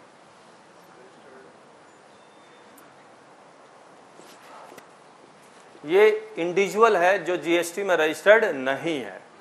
अगर मैं जीएसटी में रजिस्टर्ड हूँ, तब तो मैं नीचे आऊँगा ही नहीं ना डी में क्यों आऊँगा? मैं डी में तभी आऊँगा जब जब मैं जीएसटी में रजिस्टर्ड नहीं हूँ। और I am availing services as a consumer नीचे आ जाइए। और यहाँ पर हमने कुछ एग्जांपल्स लिख दिया कि I am I am individual और आई एम नॉट रजिस्टर्ड तब क्या होगा? इफ़ आई एम रजिस्टर्ड तो वो आपको उस लाइन को सोचना होगा। सेक्श, आ, जो section C G S T act का लेवाई का सेक्शन है the supply should be made in the course of business और फर्दरेंस ऑफ़ बिज़नेस तो वो सब टेस्ट लगा के हमें पता लगाना होगा what is the location of receiver और लोकेशन ऑफ़ सप्लायर तो वही सेम कॉन्सेप्ट एकदम एग्जैक्ट कॉपी पेस्ट है location of the supplier of services नीचे आइए। फिक्स नीचे आइए इसमें नहीं जाऊँगा मैं। एक minute. Place of incorporation GST registration fix establishment common supply residence of supplier location of supplier तो मैंने आपको बता दिया था कि जहाँ अगर आप जीएसटी में रजिस्टर्ड हैं तो ऑलवेज क्या देखना है? जिस जगह आप रजिस्टर्ड है। बाकी सब इग्नोर करते रहिएगा आप। और अगर आप नोएडा, मुंबई दोनों में रजिस्टर्ड है तो मोस्ट डायरेक्ट कनेक्शन जहाँ पर रिसीवर या सप्लायर का हो रहा है, वो मान लिया जाएगा। नीचे आइए। और दोनों जगह है तो अपोर्चमेंट करना पड़ेगा, उसके भी रूल्स हैं। ये सारे एग्जाम्पल्स अभी बन रहे हैं। नीचे आ जाइए, नीचे आ जाइए। Goods Section 8, subsection 1, same state supply of goods shall be treated as intra-state supply. नीचे आइए। प्रोवाइजर टू सेक्शन 8 सबसेक्शन इसको भी छोड़ देते हैं एक बार आप। आइए नीचे आइए नीचे। एस जेड वाले में और नीचे आइए। सेक्शन हम लोग डायरेक्ट कर रहे हैं प्लेस ऑफ़ सप्लाई हाँ ये वाला। Section 10 subsection 1 involves movement of goods of public removal of goods जो डिसाइड करेगा ये मेरा inter state supply of goods है या इंट्रा स्टेट सप्लाई बताइए मुझे गुड्स में क्या क्या देखते हैं? इंटर स्टेट या इंट्रा स्टेट देखने के लिए क्या क्या देखना है आपको? सबसे पहले लोकेशन ऑफ़ सप्लायर और दूसरा प्लेस ऑफ़ सप्लाई दो ही चीज़ देखना। लोकेशन ऑफ़ सप्लायर अगर मैं दिल्ली में रजिस्टर्ड हूँ तो मेरा लोकेशन क्या है? दिल्ली है। और अगर मैं महाराष्ट्र में रजिस्टर्ड हूँ तो मेरा लोकेशन क्या है? महाराष्ट्र है। और सिंपल है। तो गुड्स के केस में लोकेशन ऑफ़ सप्लायर आइडेंटिफाई करना बहुत आसान है। फैक्ट्री गोडाउन जहाँ से गुड्स को मैं सप्लाई कर रहा हूँ that is the location of supply it is very easy to identify मुश्किल कब है? जब company secretary practice office Noida में है क्लाइंट के यहाँ जाके सर्विसेज़ प्रोवाइड करते हैं वहाँ पर बहुत सारी दिक्कतें हैं सोचने में, लेकिन आसान है। तो ये involve movement of goods oblique removal of goods नीचे बस। Where the supply involve movement of goods whether by the supplier और द रिसिपियंट और बाय एनी अदर पर्सन इस लाइन का मतलब बता दीजिए आप मुझे। सबसे पहले the supply involves movement of goods यानी कि गुड्स मूव करेगा। कैसे मूव करेगा? कैसे मूव करेगा? ट्रक से मूव करे बस से मूव करे ऑटो से मूव करे साइकिल से मूव करे रिक्शा से मूव करे, कैसे भी मूव करे। It involves movement of goods from your place to any other place from your place to any other place who moves the goods कौन मूव कर रहा है? जो खरीदार है, वो मूव कर रहा है? या फिर जो बेच रहा है, वो मूव कर रहा है? या फिर मेरा एम्प्लॉय मूव कर रहा है, मेरा एजेंट मूव कर रहा है? सारे कवर्ड हैं इसमें। तो question is whether the supply involve movement of goods whether by the supplier और द रिसिपियंट और by any other person the place of supply of goods shall be the location of the goods at the time at which the movement of goods terminates for delivery to the recipient. बताइए हमने bold किया हुआ terminates for delivery to the recipient what this ये terminates for delivery का मतलब क्या होता है रिचेज इट्स डेस्टिनेशन देखिए, किसी को सेल्स ऑफ़ गुड्स एक्ट याद है? 1930 वहीं पर लिखा हुआ ये वर्ड का मतलब। पूरे एक्ट में कहीं नहीं लिखा हुआ। अगर एक्ट में वो चीज़, उस वर्ड का मतलब नहीं लिखा हुआ है तो हम लोग को ट्रैवल करना पड़ेगा दूसरे एक्ट में। ऑब्वियसली ये क्वेश्चन ऑफ़ इंटरप्रिटेशन है कोर्ट अलाउ करेगा या नहीं करेगा। हारमोनियस इंटरप्रिटेशन ऑफ़ लॉ होना चाहिए। पता लगा उसको अप्लाई कर रहे हैं। और ये जो इंटेंशन कहना चाह रहा वो हो ही नहीं पा रहा तो ये अप्लाई नहीं होगा। बट स्टिल क्योंकि अभी नेशन स्टेज है सभी लोग आ, इस पर डिस्कस भी कर रहे हैं अप्लाई होगा भी नहीं होगा। Let us understand in a simple language terminates for delivery मान लीजिए मैंने आपको एक पेन या लैपटॉप बेचा। आप मेरे दुकान में आए मैंने आपको लैपटॉप बेच दिया। ये डिलीवरी दे दी मैंने आपको। टर्मिनेट्स फॉर डिलीवरी कब हो गया? आप मेरे दुकान में आए, मैंने आपको लैपटॉप कर दी, आपसे पैसे ले लिए, बिल काट लिया या उधार बेच दिया एनी वन थिंग उधार बेच दिया, मान लीजिए।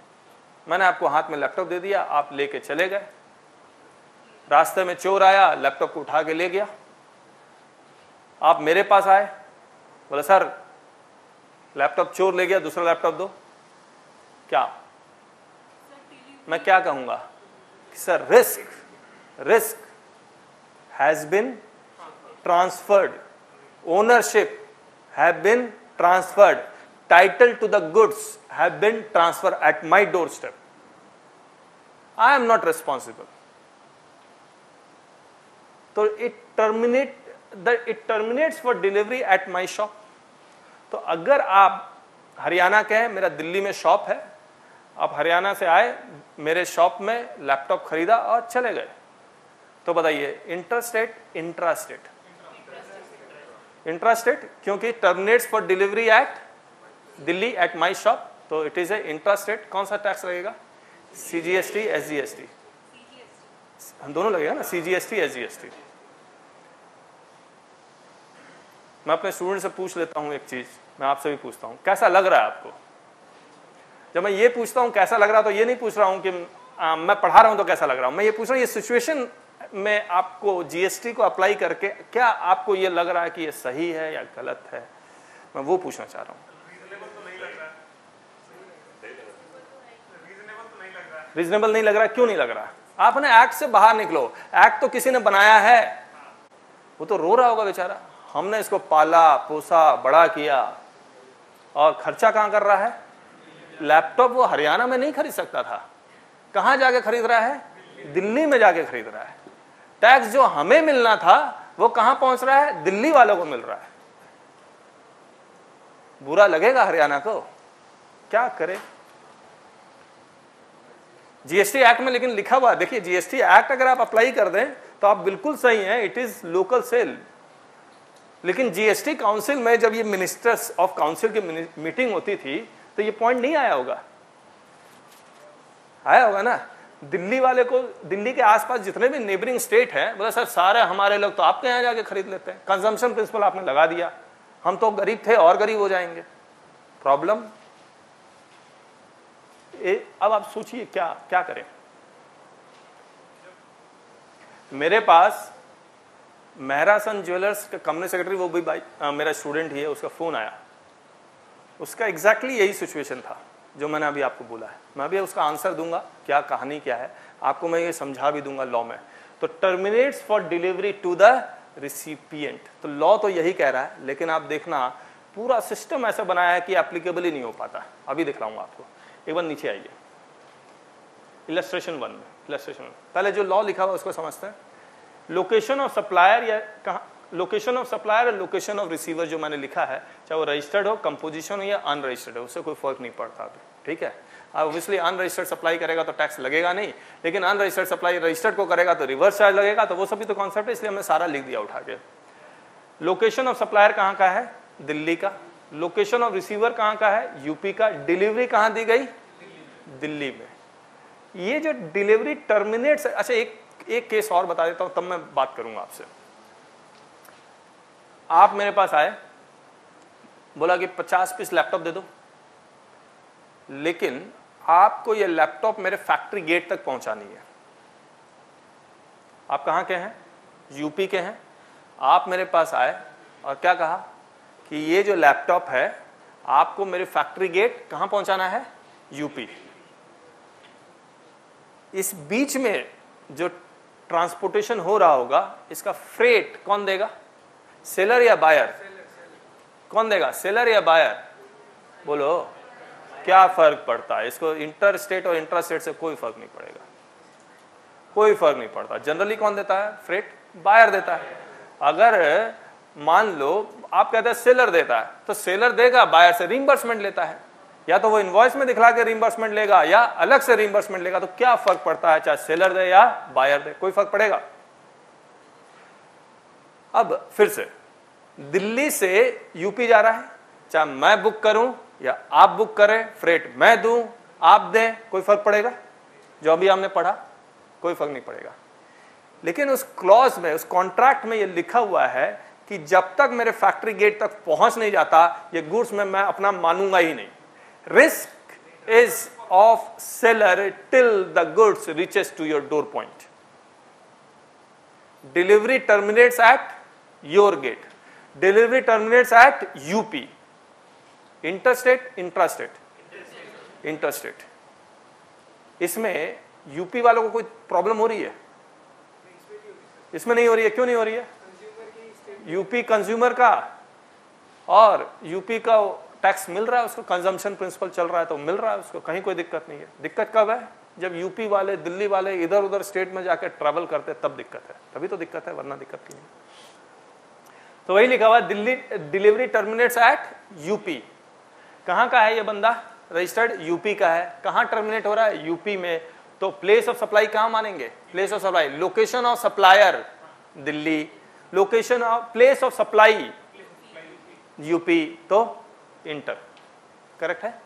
Next location of supplier Delhi. हमने डिलीवरी टेकन एट ये कुछ गलत है। तो डिलीवरी टेकन एट दिल्ली लिखते तो दिल्ली टू दिल्ली क्या हो जाता? इंट्रा हो जाता। फिर ये नीचे वाला भी हमें एग्ज़ाम्पल बनाया नहीं है पूरा। नीचे आइए आप। बस।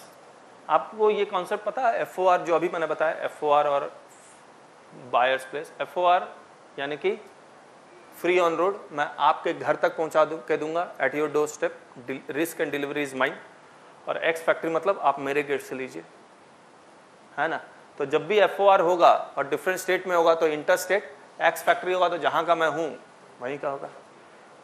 और ये एग्ज़ाम्पल एफओआर और एक्स फैक्ट्री का। सप्लायर कहाँ का? दिल्ली का। रिसीवर कहाँ का? Tamil Nadu. Place where goods terminates for delivery Tamil Nadu. तो place of supply Delhi to Tamil Nadu inter यहाँ पर सप्लायर एमपी का रिसीवर यूपी का। लेकिन यूपी वाला बोलता है कि मुझे ये गुड्स कहाँ भेजो? एमपी भेजो। कहाँ भेजो? एमपी तो ये एक ट्रांजेक्शन है बिल टू शिप टू कौन सा ट्रांजेक्शन है? बिल टू शिप टू मान लो मैं कॉन्ट्रैक्टर हूँ। मेरा साइट है जयपुर में मेट्रो बन रहा है, बैंगलोर में मेट्रो बन रहा है, मैं कंपनी हूँ दिल्ली का तो मैं क्या करूँगा? दिल्ली से सीमेंट विमेंट खरीदूँगा या कहीं और से खरीदूँगा? बोलूँगा, मेरे साइट में भेजते रहो। बिलिंग मेरे को करना। बिलिंग मेरे को करना। तो अल्टीमेटली गुड्स कंज्यूम कहाँ हो रहा है? जहाँ साइट पे। तो किस स्टेट को टैक्स मिलना चाहिए? उस स्टेट को। तो होगा कैसे बिलिंग आप पहले मुझे बिलिंग करेंगे। देखिए, मैंने, मान लीजिए, मैं दिल्ली का कॉन्ट्रैक्टर मेरा साइट है राजस्थान में। मैं कहाँ का हूँ? दिल्ली का। मेरा साइट कहाँ है? राजस्थान में। नोएडा के किसी पार्टी को बोला कि ये गुड्स को आप कहाँ भेज दो? राजस्थान। अब ये नोएडा का पार्टी मेरे को बिलिंग करेगा। मेरे को बिलिंग करेगा। आईजीएसटी लगा देगा? समझ में आ रहा है? बड़े आराम से। मुझे फिर से बिलिंग करनी पड़ेगी। अपने ही साइट में। अपने ही साइट में। बताइए मेरा राजस्थान में साइट है और मैं दिल्ली का हूँ तो मुझे डिफरेंट रजिस्ट्रेशन लेना पड़ा होगा या नहीं लेना पड़ा होगा? तो डिफरेंट स्टेट में अगर मैं सप्लाई कर रहा हूँ सेम पैन नंबर में तो भी इंटर स्टेट सप्लाई माना जाएगा। तो अल्टीमेटली ये जो टैक्स है ये गुड्स कहाँ कंज्यूम कहाँ हो रहा है? राजस्थान में टैक्स किसको मिलना चाहिए? राजस्थान गवर्नमेंट को लेकिन मिल कैसे रहा है? पहले यहाँ आ रहा है फिर यहाँ जा रहा है। तो कंजम्पशन प्रिंसिपल पूरा अप्लाई हो रहा है या नहीं हो रहा है? समझ में आया क्या बोलना चाह रहा हूँ? आया। गुड नीचे आइए मीनिंग ऑफ़ डिलीवरी ये मैंने वही एसओजी का कुछ कुछ पार्ट लिखा हुआ है। एक बार ऊपर, फिर से एक बार सॉरी फिर से ऊपर चलिए। बस, यहीं यहीं पर। अब मैं आपको प्रैक्टिकल सिचुएशन बताता हूँ। आप सोच के देखो गवर्नमेंट अप्लाई कैसे करेगी। एक बार नीचे, एक बार, एक क्लॉज और देखना होगा। नहीं, इसको छोड़ दो, ऊपर ही, ठीक है। एफओआर और F O B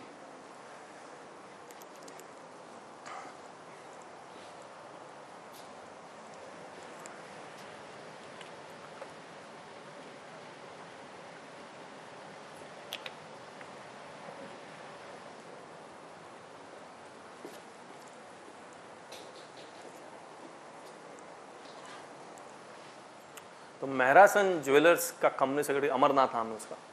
आप लोग कोई जानता है अमरनाथ को? तुम तुम जानते हो? गुड तो उसका केस था। और वहाँ पर बाहर के बहुत सारे पार्टी आते थे। महरासन ज्वेलर्स में ज्वेलरी खरीदते थे। इन्वॉइस काटेगा वो? क्या लिखेगा इन्वॉइस में? ज्वेलरी है, याद रखना। उस पार्टी का नाम और एड्रेस लिखेगा या नहीं लिखेगा? लिखेगा।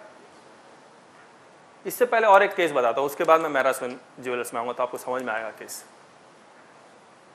आप यूपी के पार्टी मैं दिल्ली का। आप मेरे पास आए और 100 कार्टन मैगी खरीदा और मैंने आपसे पूछा कि जीएसटीएन नंबर दे दो। मांगूँगा आपसे? या आप खुद देंगे?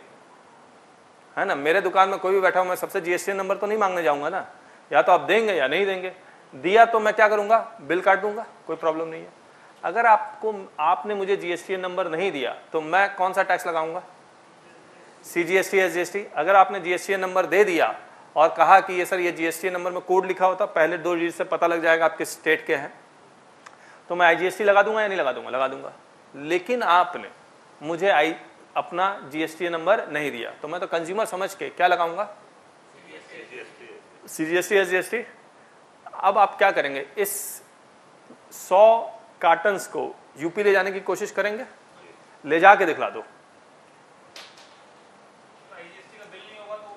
आईजीएसटी का बिल नहीं होगा तो आप क्रॉस नहीं कर पाएँगे।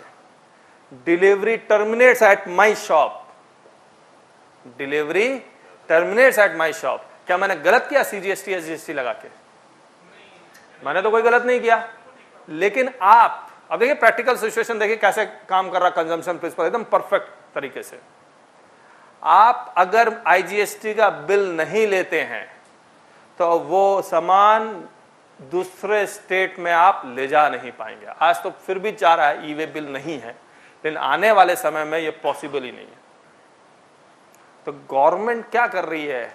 अब आप फिर से वो लॉ पढ़ लीजिए एक बार, ऊपर आइए।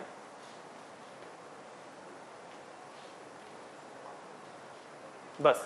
Where the supply involve movement of goods whether by supplier और बाय रिसिपियंट और by any other person clear है? तो where the supply involve movement of goods movement of goods आप करें सेलर करें बायर करें और या फिर उसका एजेंट करें। उसके बाद The place of supply of goods shall be the location of the goods at the time at which the movement of goods terminates for delivery to the recipient. अब मुझे एक बात बताइए, क्या मैं सेल ऑफ़ गुड्स एक्ट में जो delivery का रिस्क का प्रिंसिपल मैं देखूँ या छोड़ दूँ? अगर आपने एसओजी लगा दिया तो सीजीएसटी एसजीएसटी अगर आप एसओजी का एक्ट लगा दिया तो सीजीएसटी एसजीएसटी लेकिन अगर आप नहीं लगाते हैं, वो एक्ट इंपोर्ट ही तो कर रहे हैं मीनिंग अगर मैं वो मीनिंग इंपोर्ट नहीं करता हूँ तो ये पूरे प्रैक्टिकल सिचुएशन से तो यही लग रहा है कि टर्मिनेट्स फॉर डिलीवरी का मतलब यही हुआ कि आप उसको कहाँ जाके टर्मिनेट कर रहे हैं? आप उसको कहाँ ले आके कंज्यूम कर रहे हैं? आया? तो ये ये ऑब्वियसली मैं ये मानता हूँ डिस्प्यूटेड पॉइंट है कि जब तक कोर्ट में केस नहीं जाएगा, और ऑब्वियसली मैं जो बोल रहा हूँ, मैं 99 परसेंट श्योर हूँ कि मैं सही बोल रहा हूँ। क्यों? क्योंकि कंजम्पशन प्रिंसिपल क्या कहता है? जिस स्टेट के आप हैं उसी स्टेट को अल्टीमेटली पैसा मिलना चाहिए। वो तभी कंप्लाई होगा जब जब आप आ, जहाँ पर जाके टर्मिनेट हो रहा है उसका मतलब वो निकालेंगे जो मैं बोलना चाह रहा हूँ। ठीक है ये जो भी मैगी वाला एग्जांपल हम डिस्कस कर रहे हैं जैसे आपका भी आपने पहले एग्जांपल दिया आपका एक साइट है आपने साइट पे कोई लोकल सामान खरीदा ये सोच के कि इस्तेमाल होगा आपने वैलिडली अपना जीएसटी दिया चाहे नहीं दिया उसने सीजीएसटी एसजीएसटी लगा के आपको दिया बाद में ड्यू टू प्रोजेक्ट खत्म हो गया जो भी हो गया अब जो आपका स्पेयर सामान बचता है वो आप कहीं बेचते आईजीएसटी लगा के ले जाइए आईजीएसटी लगा के देखें तो जो भी सिचुएशन आप बता रहे थे कि मतलब अगर आप आईजीएसटी का बिल नहीं लेंगे हाँ। तो आप ट्रांसफ़र नहीं कर पाएँगे। हाँ। इस केस में बिल तो उसने आईजीएसटी का लिया नहीं। हाँ। तो फिर वो कैसे करेगा इसको? तो नहीं ले जा पाएगा। नहीं ले जा पाएगा। उसका डिसीज़न बाद में चेंज हुआ ना। तो आप आ- एक बार एक मैं फिर से बता रहा हूँ आप कहाँ कंसल्ट आप दिल्ली में भी इसका मतलब रजिस्टर्ड है। मैं तो ये कह रहा हूँ वो जो पार्टी आपने एग्ज़ाम्पल लिया वो तो राजस्थान में राजस्थान में भी रजिस्टर्ड है। तो राजस्थान में भी रजिस्टर्ड है, वो तो फिर से आईजीएसटी काट ही सकता। है आप कहाँ से काटेंगे? खुद ही करेगा ना? सेल्फ सप्लाई करेगा वो।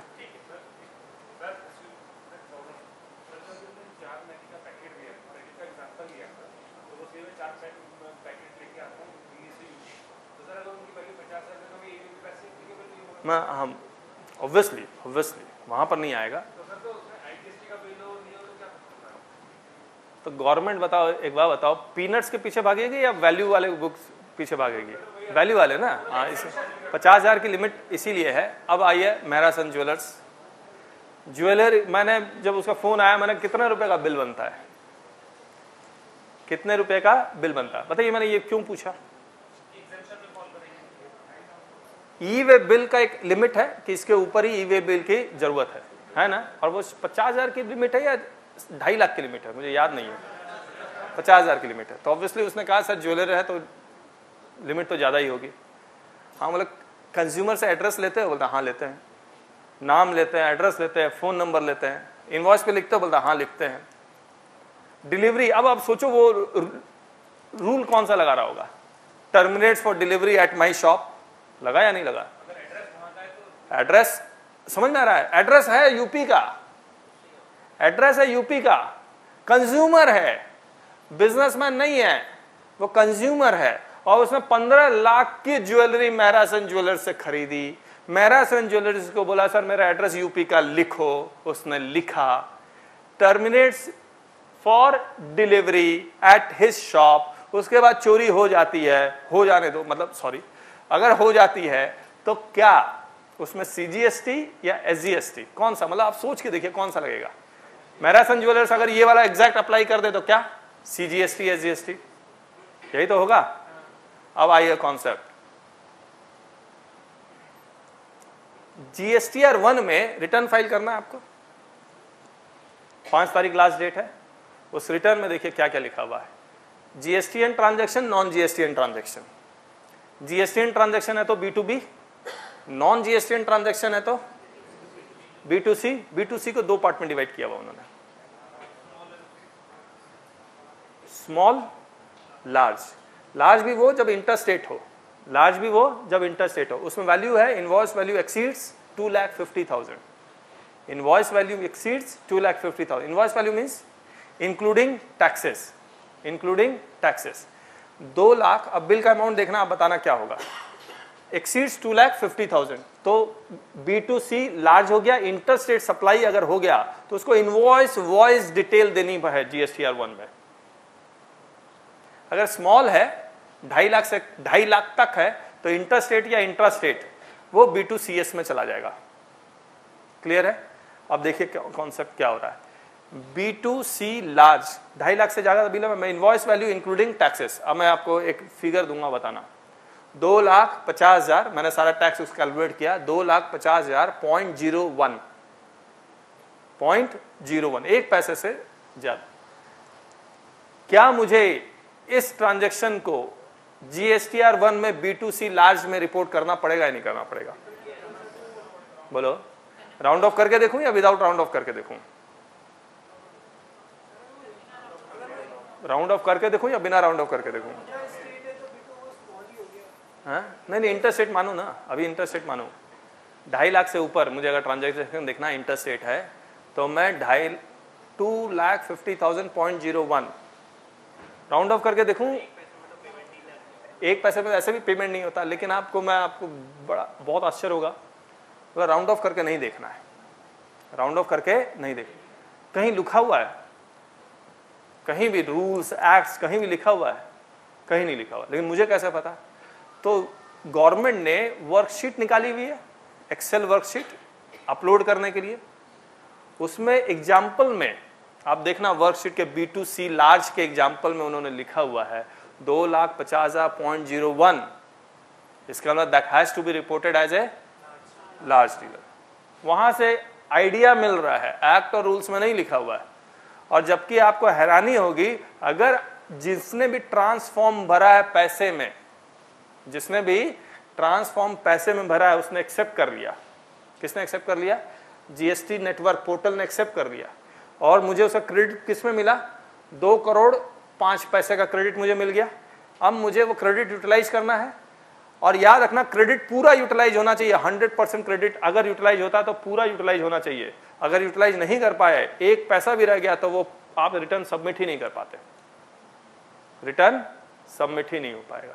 तो वो बेचारा परेशान हो गया, वो पॉइंट फोर नाइन पैसा मतलब जो एडजस्ट कर रहा था तो उसका कितना पैसा बच रहा था? पॉइंट फोर नाइन, वो रिटर्न सबमिट नहीं कर पाया।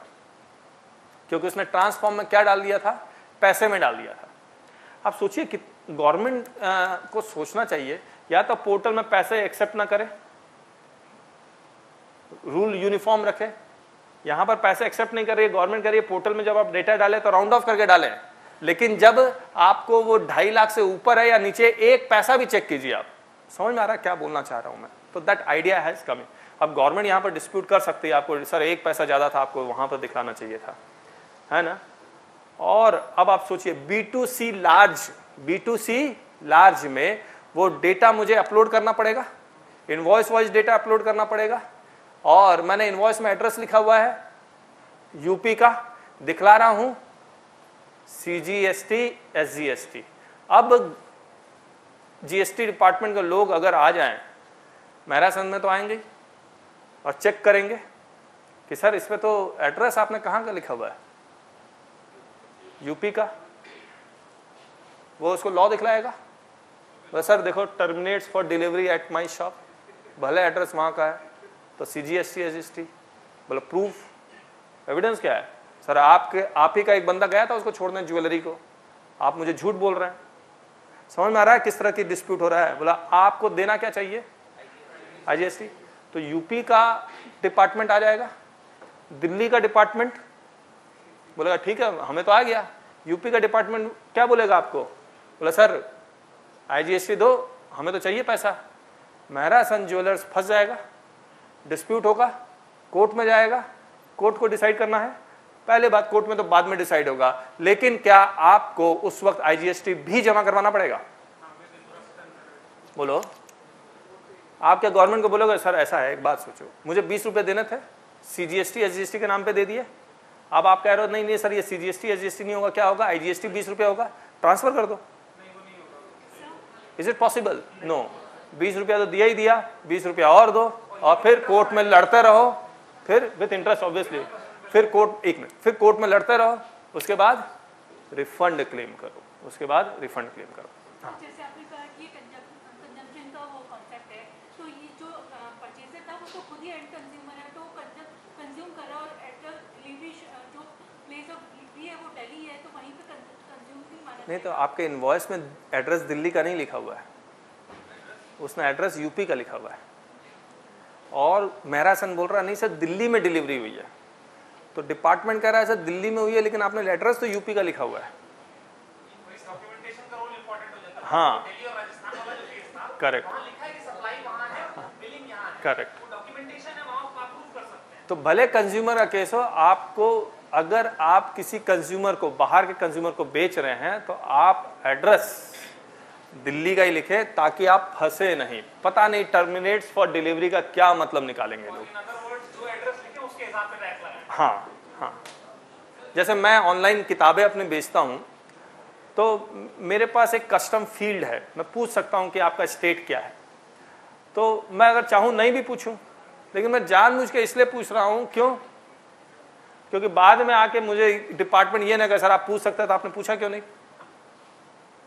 और फिर सीजीएसटी भी लगाएँगे आईजीएसटी भी लगाएँगे, मैं तो फंस जाऊँगा तब तो आप एड्रेस लेते होंगे ना हम- मैं इसीलिए ले रहा हूँ। मैं अगर एड्रेस में अच्छा एक बात बताइए। कहीं लॉ में लिखा हुआ कि एड्रेस लेना कंपलसरी है आपका? है? आप सप्लाई कैसे करेंगे? नहीं नहीं मैं तो ऑनलाइन है मैं आप समझे नहीं। मैं गुड्स नहीं बेच रहा हूँ। मैं ऑनलाइन पीडीएफ डाउनलोड मेरी किताब पीडीएफ डाउनलोड करो। पे करो डाउनलोड करो। मुझे क्या ज़रूरत है एड्रेस की? समझ में आ रहा है? हाँ। इनवॉइस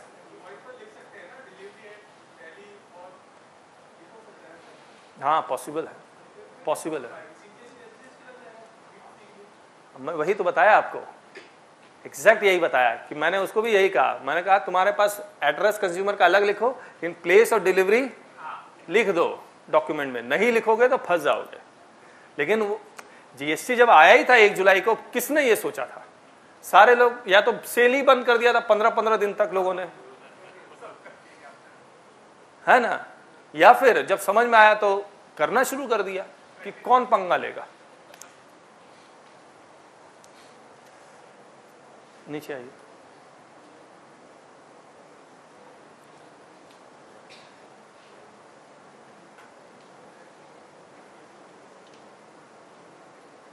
क्लिक कर दो, किसी भी पेज में क्लिक कर दो और फिर नीचे आइए। क्लिक करो, कहीं भी क्लिक कर हाँ अब नीचे, अब काम करेगा।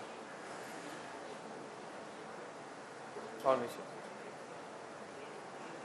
तो हमने ना डिलीवरी का मतलब बहुत सारा लीगल जो कोर्ट में केसेस हुआ था वो लिखा है। ये वही ट्रांजेक्शन है, बिल टू शिप टू का ट्रांजेक्शन, जहाँ पर movement of goods by transfer of documents to the title to the goods, bill to ship to transaction. देखिए where the goods are delivered by the supplier to a recipient और any other person बताएँगे ये क्या है? पढ़िए। Where the goods are delivered by the supplier to a recipient or any other person on the direction of third person ये bill to ship to का ट्रांजेक्शन मैंने आपको कहा कि आप डिलीवरी राजस्थान में दे दो तो where the goods are delivered by supplier to a recipient और एनी अदर पर्सन यानी कि मैं जिसको कह रहा हूँ ट्रांसफ़र करने के लिए डिलीवरी देने के लिए, वो रिसिपियंट है या फिर किसी और को. On the direction of third person I am the third person I am the third person ये बिल मुझे किसको बना के देंगे? मुझे. मुझे बना के देंगे थर्ड पर्सन को. फिर थर्ड पर्सन क्या करेगा? जिसको यहाँ मैंने डिलीवरी करवाई है, उसकी बिल मैं अलग बनाऊँगा. ठीक है? ये तभी पॉसिबल है जब मैं रजिस्टर्ड हूँ. अनरजिस्टर्ड में तो ये पॉसिबल ही नहीं है. Whether acting as an agent or otherwise before or during movement of goods मैं यहाँ पर एजेंट पे एक एजेंट का मतलब बताइए पहले उसके बाद बात करते हैं। हु इज़ एजेंट एजेंट कितने तरह के होते हैं? Simply, simply acting on other behalf. Principal के बिहाफ पे जो भी एक्ट करेगा ही इज़ एन एजेंट तो एक बात बताइए मैं आप मेरे एजेंट, मैंने आपको दो लाख रुपए का गुड्स भेजा, या ऐसा हुआ, आप एजेंट, आपने कहा कि सर, मुझे एक कस्टमर मिला है आप उसको दस लाख रुपए का गुड्स भेज दो। तो मैं क्या करूँगा? आपने मुझे बोला, मैं गुड्स किसको भेजूँगा? अपने कस्टमर को भेज दूँगा। आप मेरे एजेंट हो गए। आपने डिलीवरी ली गुड्स की। एजेंट ने डिलीवरी ली, नहीं ली। एजेंट ने क्या दस लाख रुपए मुझे दिए? नहीं, किसने दिए वो कस्टमर देगा।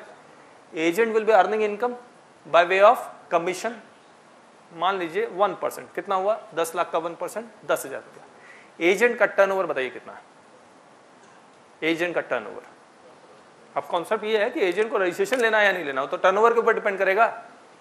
एजेंट का टर्नओवर मान लो मैं इसको 20 लाख कर देता हूँ 20 लाख, दस हज़ार या 30 लाख कर देता हूँ, लेकिन उसको कमीशन मिल रहा है तीस हज़ार। विल ही टेक रजिस्ट्रेशन मुझे बहुत फ़ोन आया क्लॉथ्स मर्चेंट के। मध्य प्रदेश से और जगह जगह से। सर, हम लोग सिंपली एजेंट हैं। अगर आप मेरा क्लॉथ का भी टर्नओवर देखेंगे तो तो फिर करोड़ों में है, लेकिन हमें कमीशन दस लाख, बारह लाख मिलता है। क्या मैं रजिस्ट्रेशन करवाऊँगा? समझ में आ रहा कॉन्सेप्ट क्या बोलना चाह रहा हूँ? तो turnover of agent is of the value of goods और commission only commission only commission but there are certain agents who take the delivery and they are called agent. Distributors are called agents. तो सिर्फ़ agent नाम से agent नहीं होना चाहिए। काम से भी होना चाहिए। तो इफ़ ए डिस्ट्रीब्यूटर इज़ दो agent but not acting like an agent he takes delivery and then sell then he is not an agent for GST आया। Where the goods are delivered by the supplier to a recipient or any other person on the direction of a third person whether acting as an agent or otherwise तो ये third person agent भी हो सकता है before or during movement of goods मतलब क्या है before or during movement of goods before मतलब before or during the movement of goods? Before the start of the movement godown में माल पड़ा हुआ है। भेज दिया। लेकिन गोडाउन में माल नहीं पड़ा हुआ है।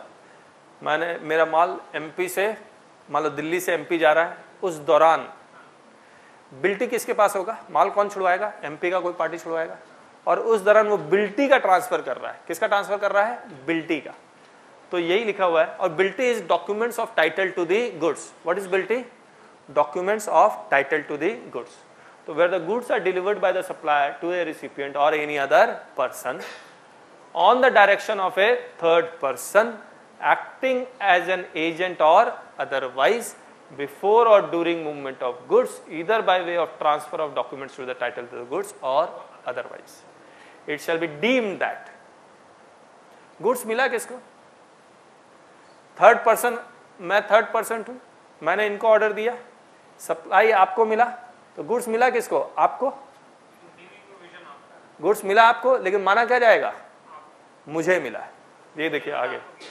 It shall be deem that that said third person जिसने ऑर्डर दिया है, फिर से ऊपर वाले पढ़ो on the direction of a third person मेरे डायरेक्शन से अगर गुड्स मूव रहा है कहीं और तो ये माना जाएगा गुड्स मुझे मिला है। तो ये बिल किसको रेज करेंगे? मुझे रेज करेंगे। On the it shall be deemed that the said third person has received the goods though i have not received the goods i have only placed the order and the place of supply of such goods shall be the principal place of such business yani such person yani कि मेरा place है agent के case में ये agent के case में भी apply होगा सब में अप्लाई होगा ये और फिर वो थर्ड पर्सन फिर से एक बिल रेज करेगा और अ- असली और वहाँ पहुँच जाएगा ये टैक्स जिस स्टेट में ये गुड्स अल्टीमेटली कंज्यूम हो रहा है। Where the goods are delivered by the supplier तो ये आसान भाषा में लिखा हुआ है नीचे आइए। Supplied by A of Delhi, order by B of Haryana, delivered to C of UP. दो ट्रांजेक्शन पहला जब ए सप्लाई कहाँ कर रहा है? A बेसिकली एक्चुअल सप्लाई कहाँ हो रहा है? यूपी में हो रहा है। है ना? दिल्ली से यूपी जा रहा है, लेकिन इसको दो पार्ट में इसने तोड़ दिया है। क्या? एक, Delhi to Haryana bill raise होगा, फिर Haryana to UP bill raise होगा, जो वहाँ लिखा हुआ है। दो सप्लाई ठीक है? Next section 10 subsection 1 C no movement of goods no movement of goods क्या है ये case no movement of goods पहला दो केस मूवमेंट हाँ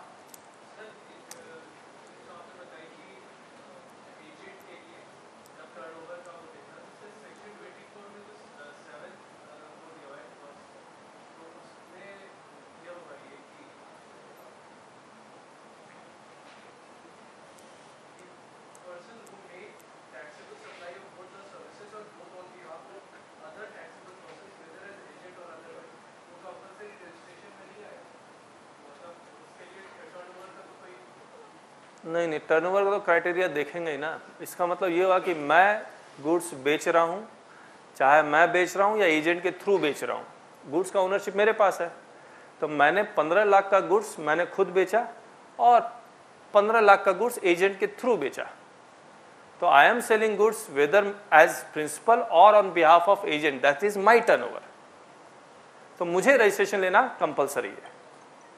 और अगर एजेंट सप्लाई कर रहा है एजेंट उसका ओनर बन जाता है उस गुड्स का, उसके बाद सप्लाई कर रहा है, तब उसका टर्नओवर देखेंगे वैल्यू ऑफ़ गुड्स का। लेकिन एजेंट को अगर सिर्फ़ कमीशन मिल रहा है सिर्फ़ बायर और सप्लायर को मिला रहा है, मेरे पास फ़ोन आया, मान लो मैं एजेंट हूँ, मेरे पास फ़ोन आया कि सर सौ कार्टन सीमेंट चाहिए।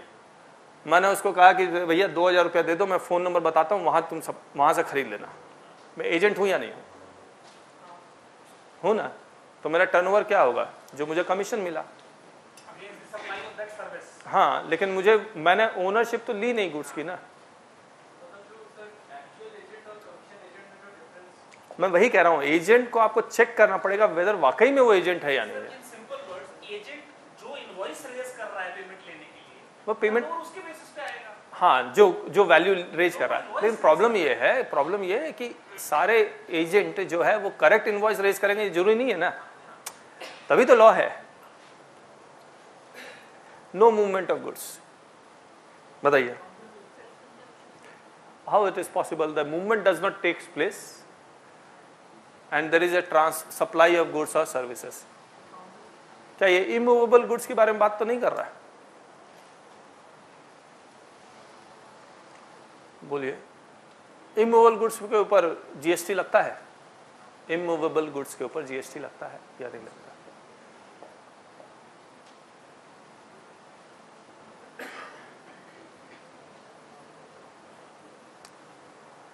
अगर कंस्ट्रक्शन कंप्लीट हो चुका है, और entire consideration is received after the completion of construction then there is no GST then there is no GST let me repeat it if the construction is completed and the entire consideration is received after entire, word entire, आप law में देख लेना, लिखा हुआ है entire consideration is received after the completion of construction then there is no GST.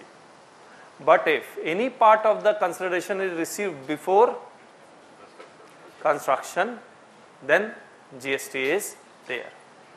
क्या ये construction जो जिस प्रॉपर्टी का कंस्ट्रक्शन चल रहा है उस पर तो जीएसटी लगेगा Before or under? Even if it is under construction. Under construction मतलब कंप्लीशन सर्टिफिकेट नहीं मिला है क्या ये उसकी बात कर रहा है या नहीं कर रहा है जल्दी बताइए आप बोलो, नहीं कर रहा है। क्यों नहीं कर रहा है? क्यों नहीं कर रहा है? क्योंकि under construction property it is treated as deemed supply of services क्या बोलते हैं उसको? डीम्ड सप्लाई ऑफ़ सर्विसेज़ और ये हम लोग किस, कौन सा लॉ पढ़ रहे हैं? सप्लाई ऑफ़ गुड्स पूरा जीएसटी आप याद रखना, पूरा जीएसटी दो पार्ट में दो टुकड़ों में एकदम बांट दो ऐसे। गुड्स का अलग प्रोविज़न चल रहा होगा सर्विसेज़ का अलग प्रोविज़न चल रहा होगा। दो, एक ही एक्ट है, लेकिन पूरा एक्ट को हम दो पार्ट में बहुत आराम से डिवाइड कर सकते हैं। गुड्स अलग सर्विसेज़ अलग।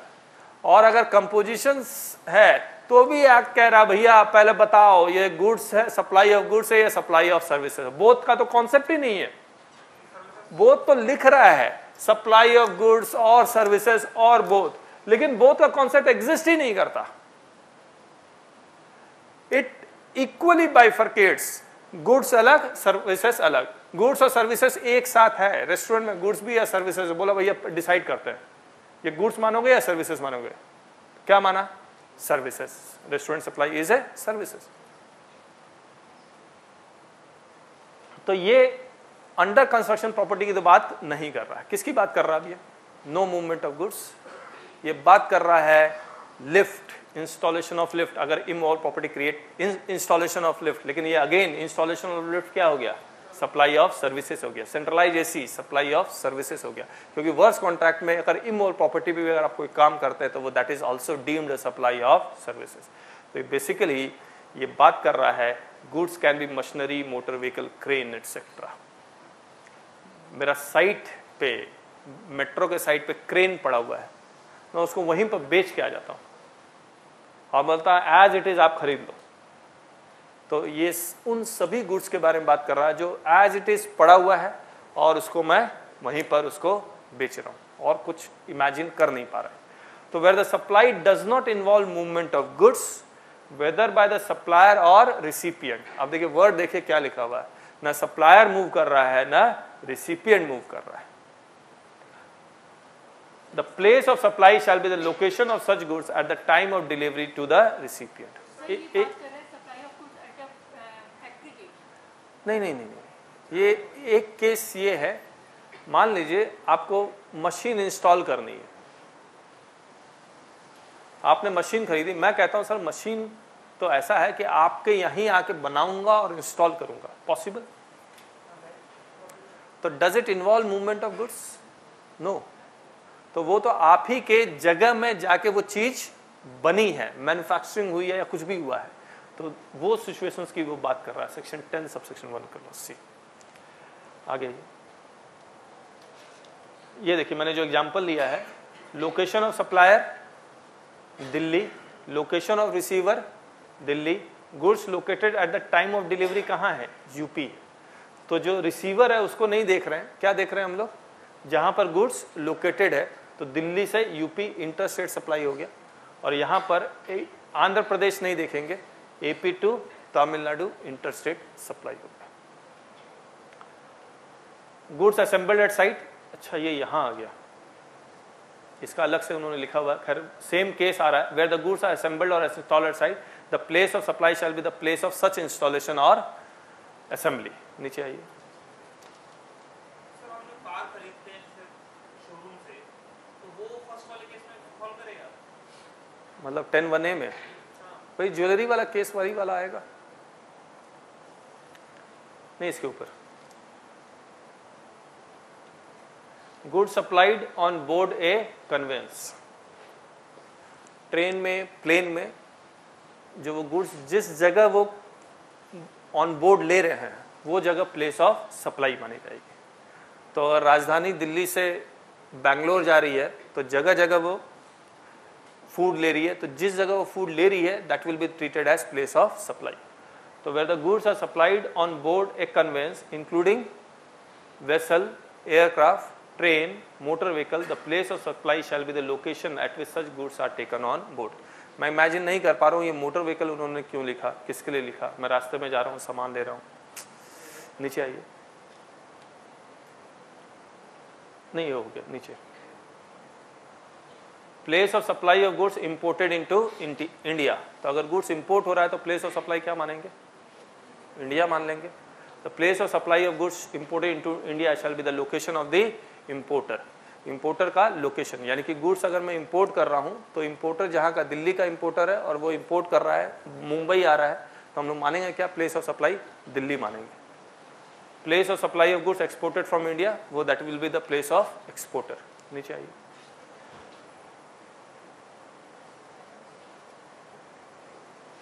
Place of supply of service थोड़ी देर में। आप, मैं पहले ना क्वेश्चन आंसर सेशन लेता हूँ। देख क्वेश्चन पूछिए आप लोग। पूछ लेना कुछ question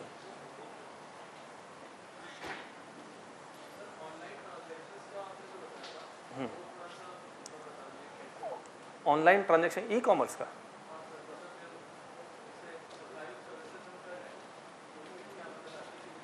अमेजन का मैं आपको बता रहा हूँ। अमेजन का एग्जांपल है कि मान लीजिए मैंने कोई गुड्स अमेजन के वेबसाइट में डाला हुआ है मैंने। अमेजन ऑर्डर लेगा। सप्लाई मुझे करना है। अमेजन पैसा लेता है और वो मुझे देता है। तो अमेजन जब उससे पैसा ले रहा है तो इंक्लूडिंग जीएसटी ले लेगा। इन अमेजन जीएसटी का इन्वॉइस रेज नहीं करता। है वो जीएसटी का इन्वॉइस किसे रेज करना है, मुझे सप्लायर को रेज करना है। तो अमेजन क्या करेगा? कमीशन काट लेगा। उस कमीशन के ऊपर जीएसटी लगा देगा अमेजन जिसका मुझे क्रेडिट मिल जाएगा और टीडीएस अलग से जो काटना है वो काटेगा ही काटेगा। ये सिस्टम है लेकिन मुझे और रिसर्च करना पड़ेगा इसलिए मैं बहुत ज़्यादा बोल नहीं पाऊँगा। हाँ। Sixty fifty one T D S वाला। हाँ, अभी अप्लीकेबल नहीं हुआ है। लेटेस्ट अप्लीकेबल नहीं हुआ। हाँ? हाँ होगा होगा हाँ हाँ होगा होगा होगा।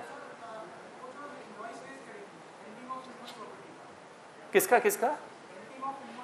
Renting of immovable property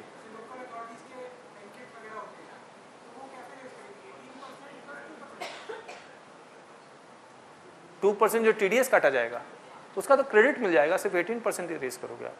portal पे है G S T R one पे मॉरिशस बेस्ड कंपनी है उनका दिल्ली में भी ऑफ़िस है एक कंपनी सेक्रेटरी दिल्ली में बेस्ड है वो किसी मैटर में ओपिनियन देता है उनसे क्वेरी का आंसर देता है ओपिनियन देता है सर्विसेज़ देता है जो आंसर वो दे रहा है ओपिनियन दे रहा है वो उन एम्प्लॉइज को दे रहा है जो दिल्ली ऑफ़िस में बैठे हैं लेकिन बिलिंग होती है मॉरिशस के एड्रेस तो इसमें आईजीएसटी लगेगा सीजीएसटी नहीं तो क्या फॉरेन एक्सचेंज आ रहा है?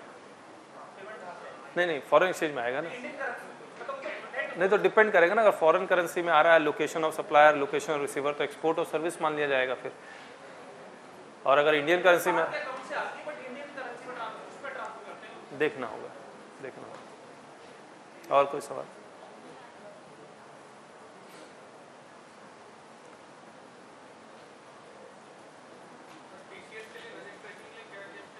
पीसीएस में?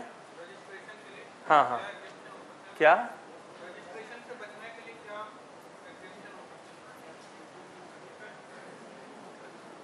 मतलब तुम्हारा टर्नओवर 20 लाख से ऊपर है और तुम रजिस्ट्रेशन 20 लाख से कम है, लेकिन क्योंकि अनरजिस्टर्ड या इंटरस्टेट सप्लाई कर रहे हो तो बचे कैसे? नहीं तो आपको बिजनेसमैन आपको फोर्स कर देगा, जिसका भी ऑडिट करेंगे। हाँ। करवा लो फिर। मतलब मुझे तो नहीं पता, बचे कैसे? मतलब क्यों- बचना है? हाँ हाँ तो करवा लो रजिस्ट्रेशन। और क्या उपाय?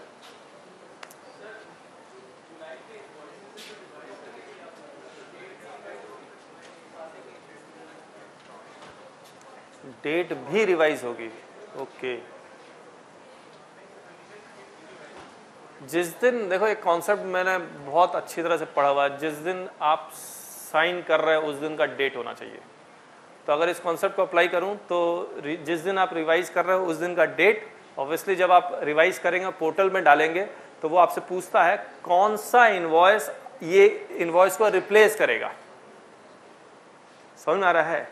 तो मान लो एक जुलाई का इन्वॉइस को रिप्लेस कर रहा है तो पोर्टल पूछ रहा है, एक जुलाई इन्वॉइस नंबर इसको मैं ये रिप्लेस करेगा। तो ऑब्वियसली रिवाइज इन्वॉइस करेंगे तो जो डेट को आप इशू कर रहे हैं, वही डेट डालना चाहिए।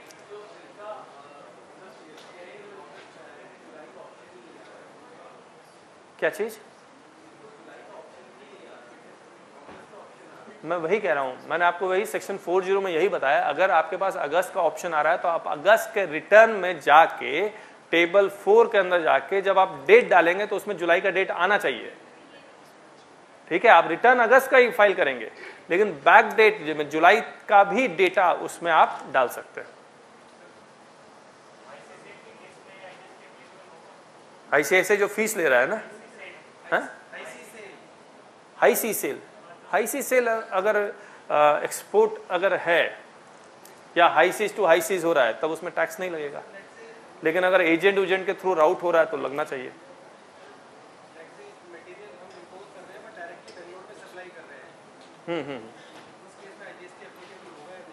इम्पोर्ट ऑफ़ गुड्स है तो होगा।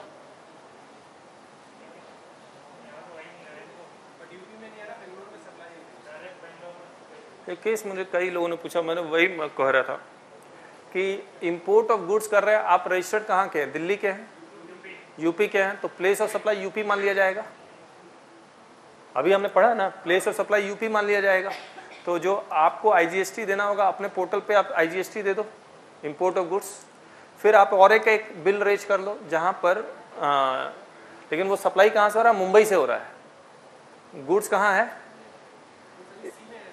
सी में है। ये केस है मतलब ये कैसे मैं मान लीजिए आप केस समझ लीजिए दुबई से गुड्स इंपोर्ट होगा मुंबई पोर्ट पे आएगा। मुंबई पोर्ट से बेंगलोर जाएगा, लेकिन मैं हूँ कहाँ का? यूपी का हूँ। तो अब मैं तो इंपोर्ट आईजीएसटी दे दूँगा, लेकिन जब ये गुड्स का मूवमेंट होगा कहाँ से? मुंबई से बेंगलोर, तब यहाँ पर क्या होगा? थ्रू डिलीवरी चलान होगा या कैसे होगा? अगेन डार्क में है सब कुछ। Let's government clear that here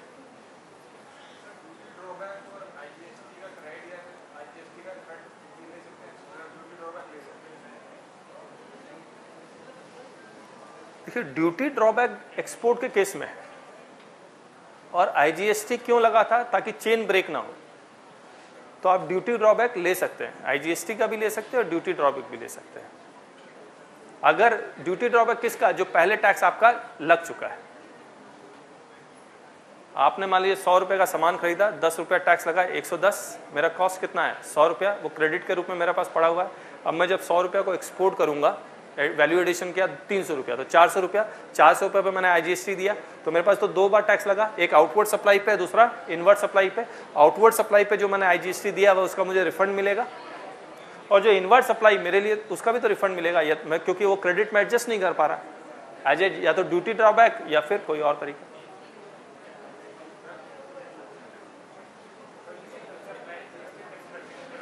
क्या चीज़? हाँ जीएसटी टैक्स प्रैक्टिशनर का।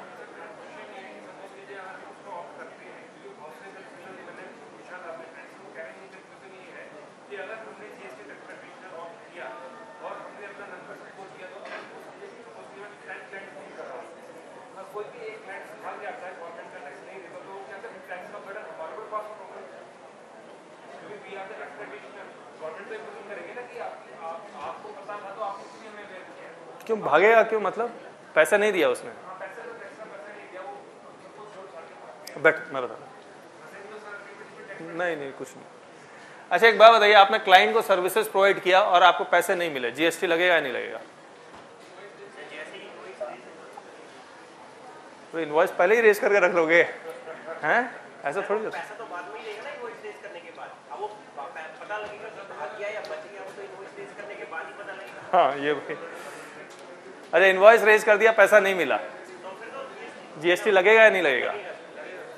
Hello to the house this question I provided the services, raised the invoice, ultimately did not receive the money, GST. लगेगा या नहीं लगेगा?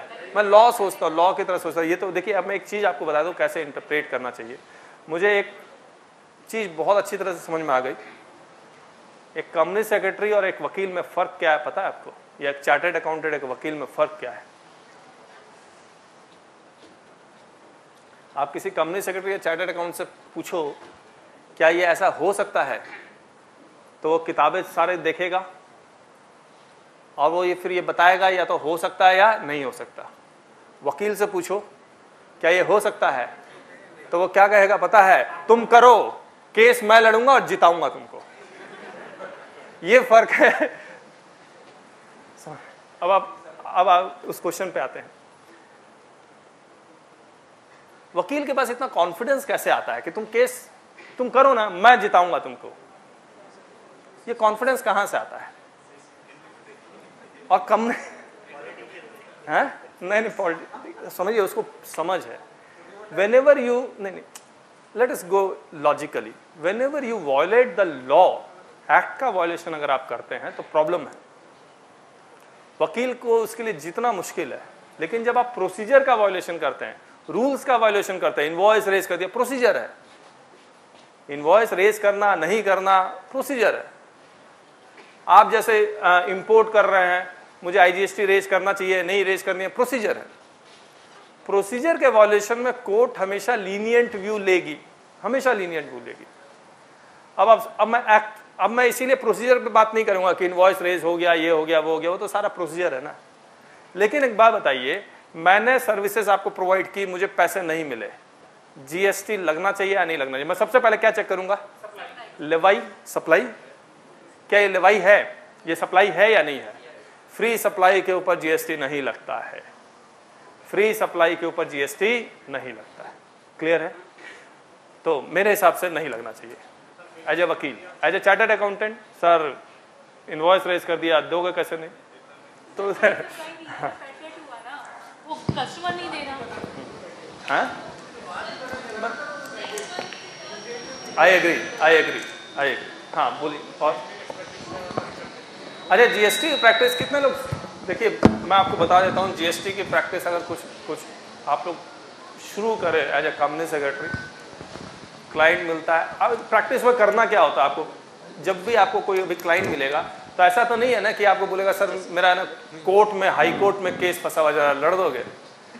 वो आपसे ये भी नहीं पूछेगा कि इसके ऊपर सर जीएसटी लगेगा या नहीं लगेगा, वो ये भी नहीं पूछेगा। वो आपसे बोलेगा कि, सर जीएसटी आर वन का रिटर्न फ़ाइल कर दो। इस बॉक्स में क्या भरना है, ये बता दो।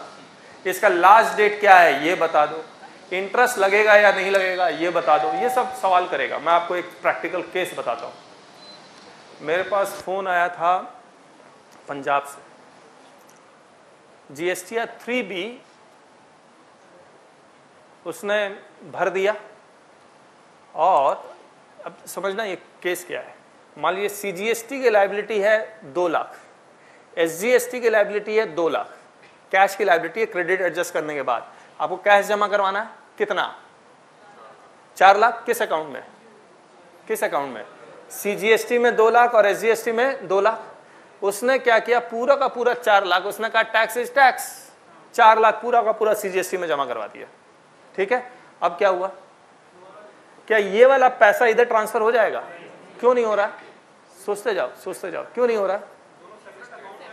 क्योंकि सेंट्रल गवर्नमेंट निकालने देगा अपने पॉकेट से पैसा। न स्टेट गवर्नमेंट निकालने देगा ना सेंट्रल गवर्नमेंट तो एक वो पॉसिबल ही नहीं है। तो इस पैसे का क्या होगा? उसको दो लाख और जमा करवाना होगा यहाँ पर। है ना? यस तो ये जो कैश में जो आपने जमा करवाया दैट कैन बी रिफंड तो only recourse is get the refund और गेट इट एडजस्टेड ठीक है? ये कब की कहानी है? थ्री बी की कहानी है। अब वो बीस तारीख लास्ट डेट था उसका। अब वो ये कहा कि सर एक बात बताओ मैं दो लाख रुपया कहाँ से लेके आऊँ? मैं दो लाख रुपया नहीं जमा कर पाऊँगा। आप बताइए क्या एडवाइस देंगे इसको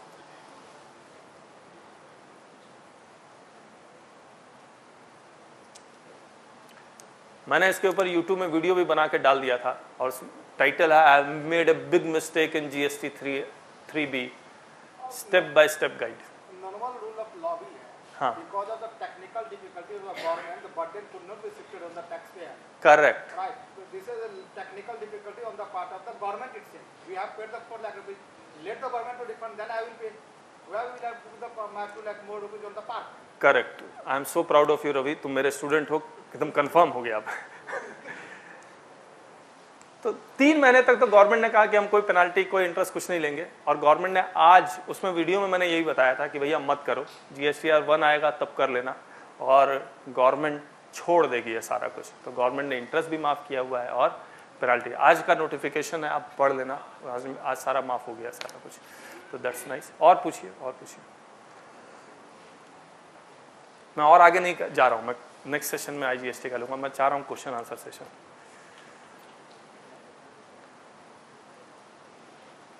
अच्छा इन इनपुट टैक्स क्रेडिट सब एडजस्ट कैसे होता है? मैनर ऑफ़ एडजस्टमेंट इसमें भी बहुत ज़्यादा प्रॉब्लम आई। हाँ तो मैं प्रैक्टिस का आपसे यही पूछ रहा था। आप प्रैक्टिस में जब जाएँगे तो G S T R one two three हर महीने है। सबसे मुश्किल वन फ़ाइल करना टू फ़ाइल करना या थ्री फ़ाइल करना? सबसे मुश्किल। देखिए गवर्नमेंट कहती है एक रिटर्न गवर्नमेंट ने बार बार कह रही है एक रिटर्न जीएसटीआर वन फ़ाइल करो। तो सब कोई अपना अपना सप्लाई फ़ाइल करता रहेगा। तो किसी के लिए सब आउटवर्ड सप्लाई है, किसी के लिए इनवर्ड सप्लाई है। तो मैं अगर आउटवर्ड सप्लाई आपका फ़ाइल कर रहा हूँ तो आपको इनवर्ड सप्लाई जीएसटीआर टू में नज़र आएगा तो गवर्नमेंट है, सब लोग वन फ़ाइल करता रहेगा। टू अपने आप बन जाएगा, फिर वन और टू को जोड़ देंगे तो थ्री अपने आप बन जाएगा। यही तो कह रही है गवर्नमेंट आप मुझे एक बात बताइए, क्या रियली में ऐसा है? ऐसा है नहीं। वन टू थ्री में सबसे ज़्यादा मुश्किल अगर कोई चीज़ फ़ाइल करना है तो वह है टू वो है टू कारण क्या है? पता है आपको कारण ये है यही टू में आपको डिसाइड करना है कि आपको क्योंकि जो टू है वो इनवर्ट सप्लाई का उसको क्रेडिट मिलना है आपको। सेक्शन 17 सब सेक्शन 5 में आपको मार्क करना पड़ेगा कि मैंने एक लाख रुपया का मान लीजिए आपने गाड़ी खरीदी पर्सनल काम के लिए तो अपना जीएसटी नंबर दोगे ना गाड़ी वालों को कि नहीं दोगे? तो मतलब पर्सनल गाड़ी खरीद रहे हो पर्सनल पर्पस के लिए तो अपना जीएसटी नंबर दोगे या नहीं दोगे? या कंपनी बस खरीद रही है अपने एम्प्लॉयज़ के लिए, वो जीएसटी नंबर देगी या नहीं देगी? देगी। वो तो हर हालत में देगी। अब इसके ऊपर आपको आईटी आप जीएसटी जैसे ही आपने दिया, वो आउटवर्ड सप्लाई फ़ाइल करेगा। आपको अपने जी आपके अपने नेटवर्क में जीएसटी टू में क्रेडिट नज़र आ रहा होगा। एक बॉक्स में क्रेडिट दस लाख पड़ा हुआ है। इस दस लाख में से कितना क्रेडिट एलिजिबल है? आपको कितना लेना है या नहीं लेना? कौन डिसाइड करेगा? आप। कौन डिसाइड करेगा? आप। अनरजिस्टर्ड परचेज से आपने जितना भी परचेज किया, वो जीएसटीआर वन में नहीं जा रहा है। किसमें जा रहा है? जीएसटीआर टू में जा रहा है। इंपोर्ट ऑफ़ सर्विस कहाँ जा रहा है? जीएसटीआर टू में। यानी कि जितना भी कॉम्प्लिकेशन है, वो जीएसटीआर टू में है। जीएसटीआर वन में तो सिर्फ़ आउटवर्ड सप्लाई है। तो आपको ये सोचना होगा कि क्लाइंट आपको जो आपके पास आएगा, वो जो सर्विसेज़ आपसे मांग रहा होगा, वो वन टू और तो आपको मैं आपकी पूरी मदद करूँगा। अगर आपको किसी को भी लगता है कि जी आप क्लाइंट है आपको सर्विस देनी है तो मैं आपके पीछे हूँ क्योंकि I don't service the client कि मैं मेरा काम है क्या? एकेडमिक मेरा काम प्रैक्टिकल नहीं है तो I am more into academic आप प्रैक्टिकल कीजिए। एकेडमिक सपोर्ट आप मेरे से ले सकते हैं कहीं कोई दिक्कत नहीं है। जहाँ भी आप फंस जाए। और कोई सवाल? तो आप क्लाइंट ढूंढिए क्लाइंट ढूंढिए। Sir, sir, if I am registered in India and availing service at overseas country, so should I pay under reverse charge? Should I pay GST under reverse charge? देखिए इंपोर्ट ऑफ़ सर्विस अगर है तो reverse charge compulsory है लेकिन आप अगर levy का section देखेंगे इंपोर्ट ऑफ़ सर्विस का section seven sub section two है शायद मुझे याद नहीं है जहाँ पर import of service for personal purpose without consideration it is not supply ये लेवाई होगा ही नहीं। लेकिन इम्पोर्ट और service for business purpose without consideration is a supply तो ये कुछ कुछ चीज़ें मुझे याद नहीं एग्जैक्ट वहाँ देखना होगा। अगर है तो आपको रिवर्स चार्ज में देना पड़ेगा। और कुछ सवाल?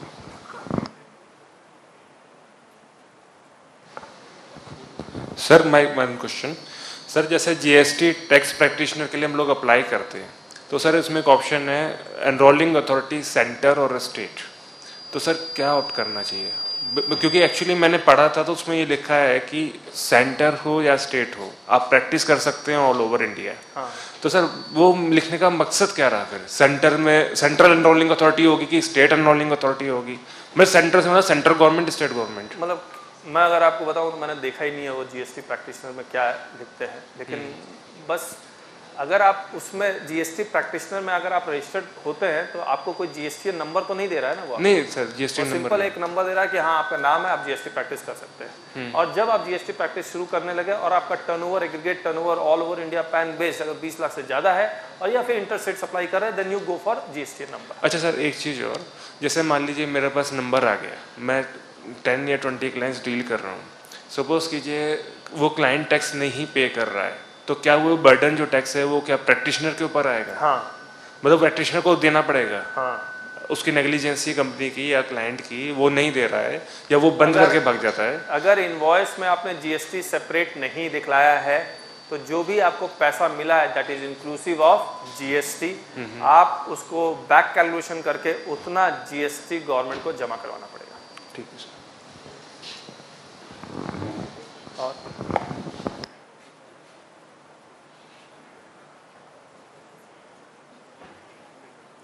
चलिए दोस्तों आज के लिए कंक्लूड करें हम लोग। Thank you so much you are very nice listener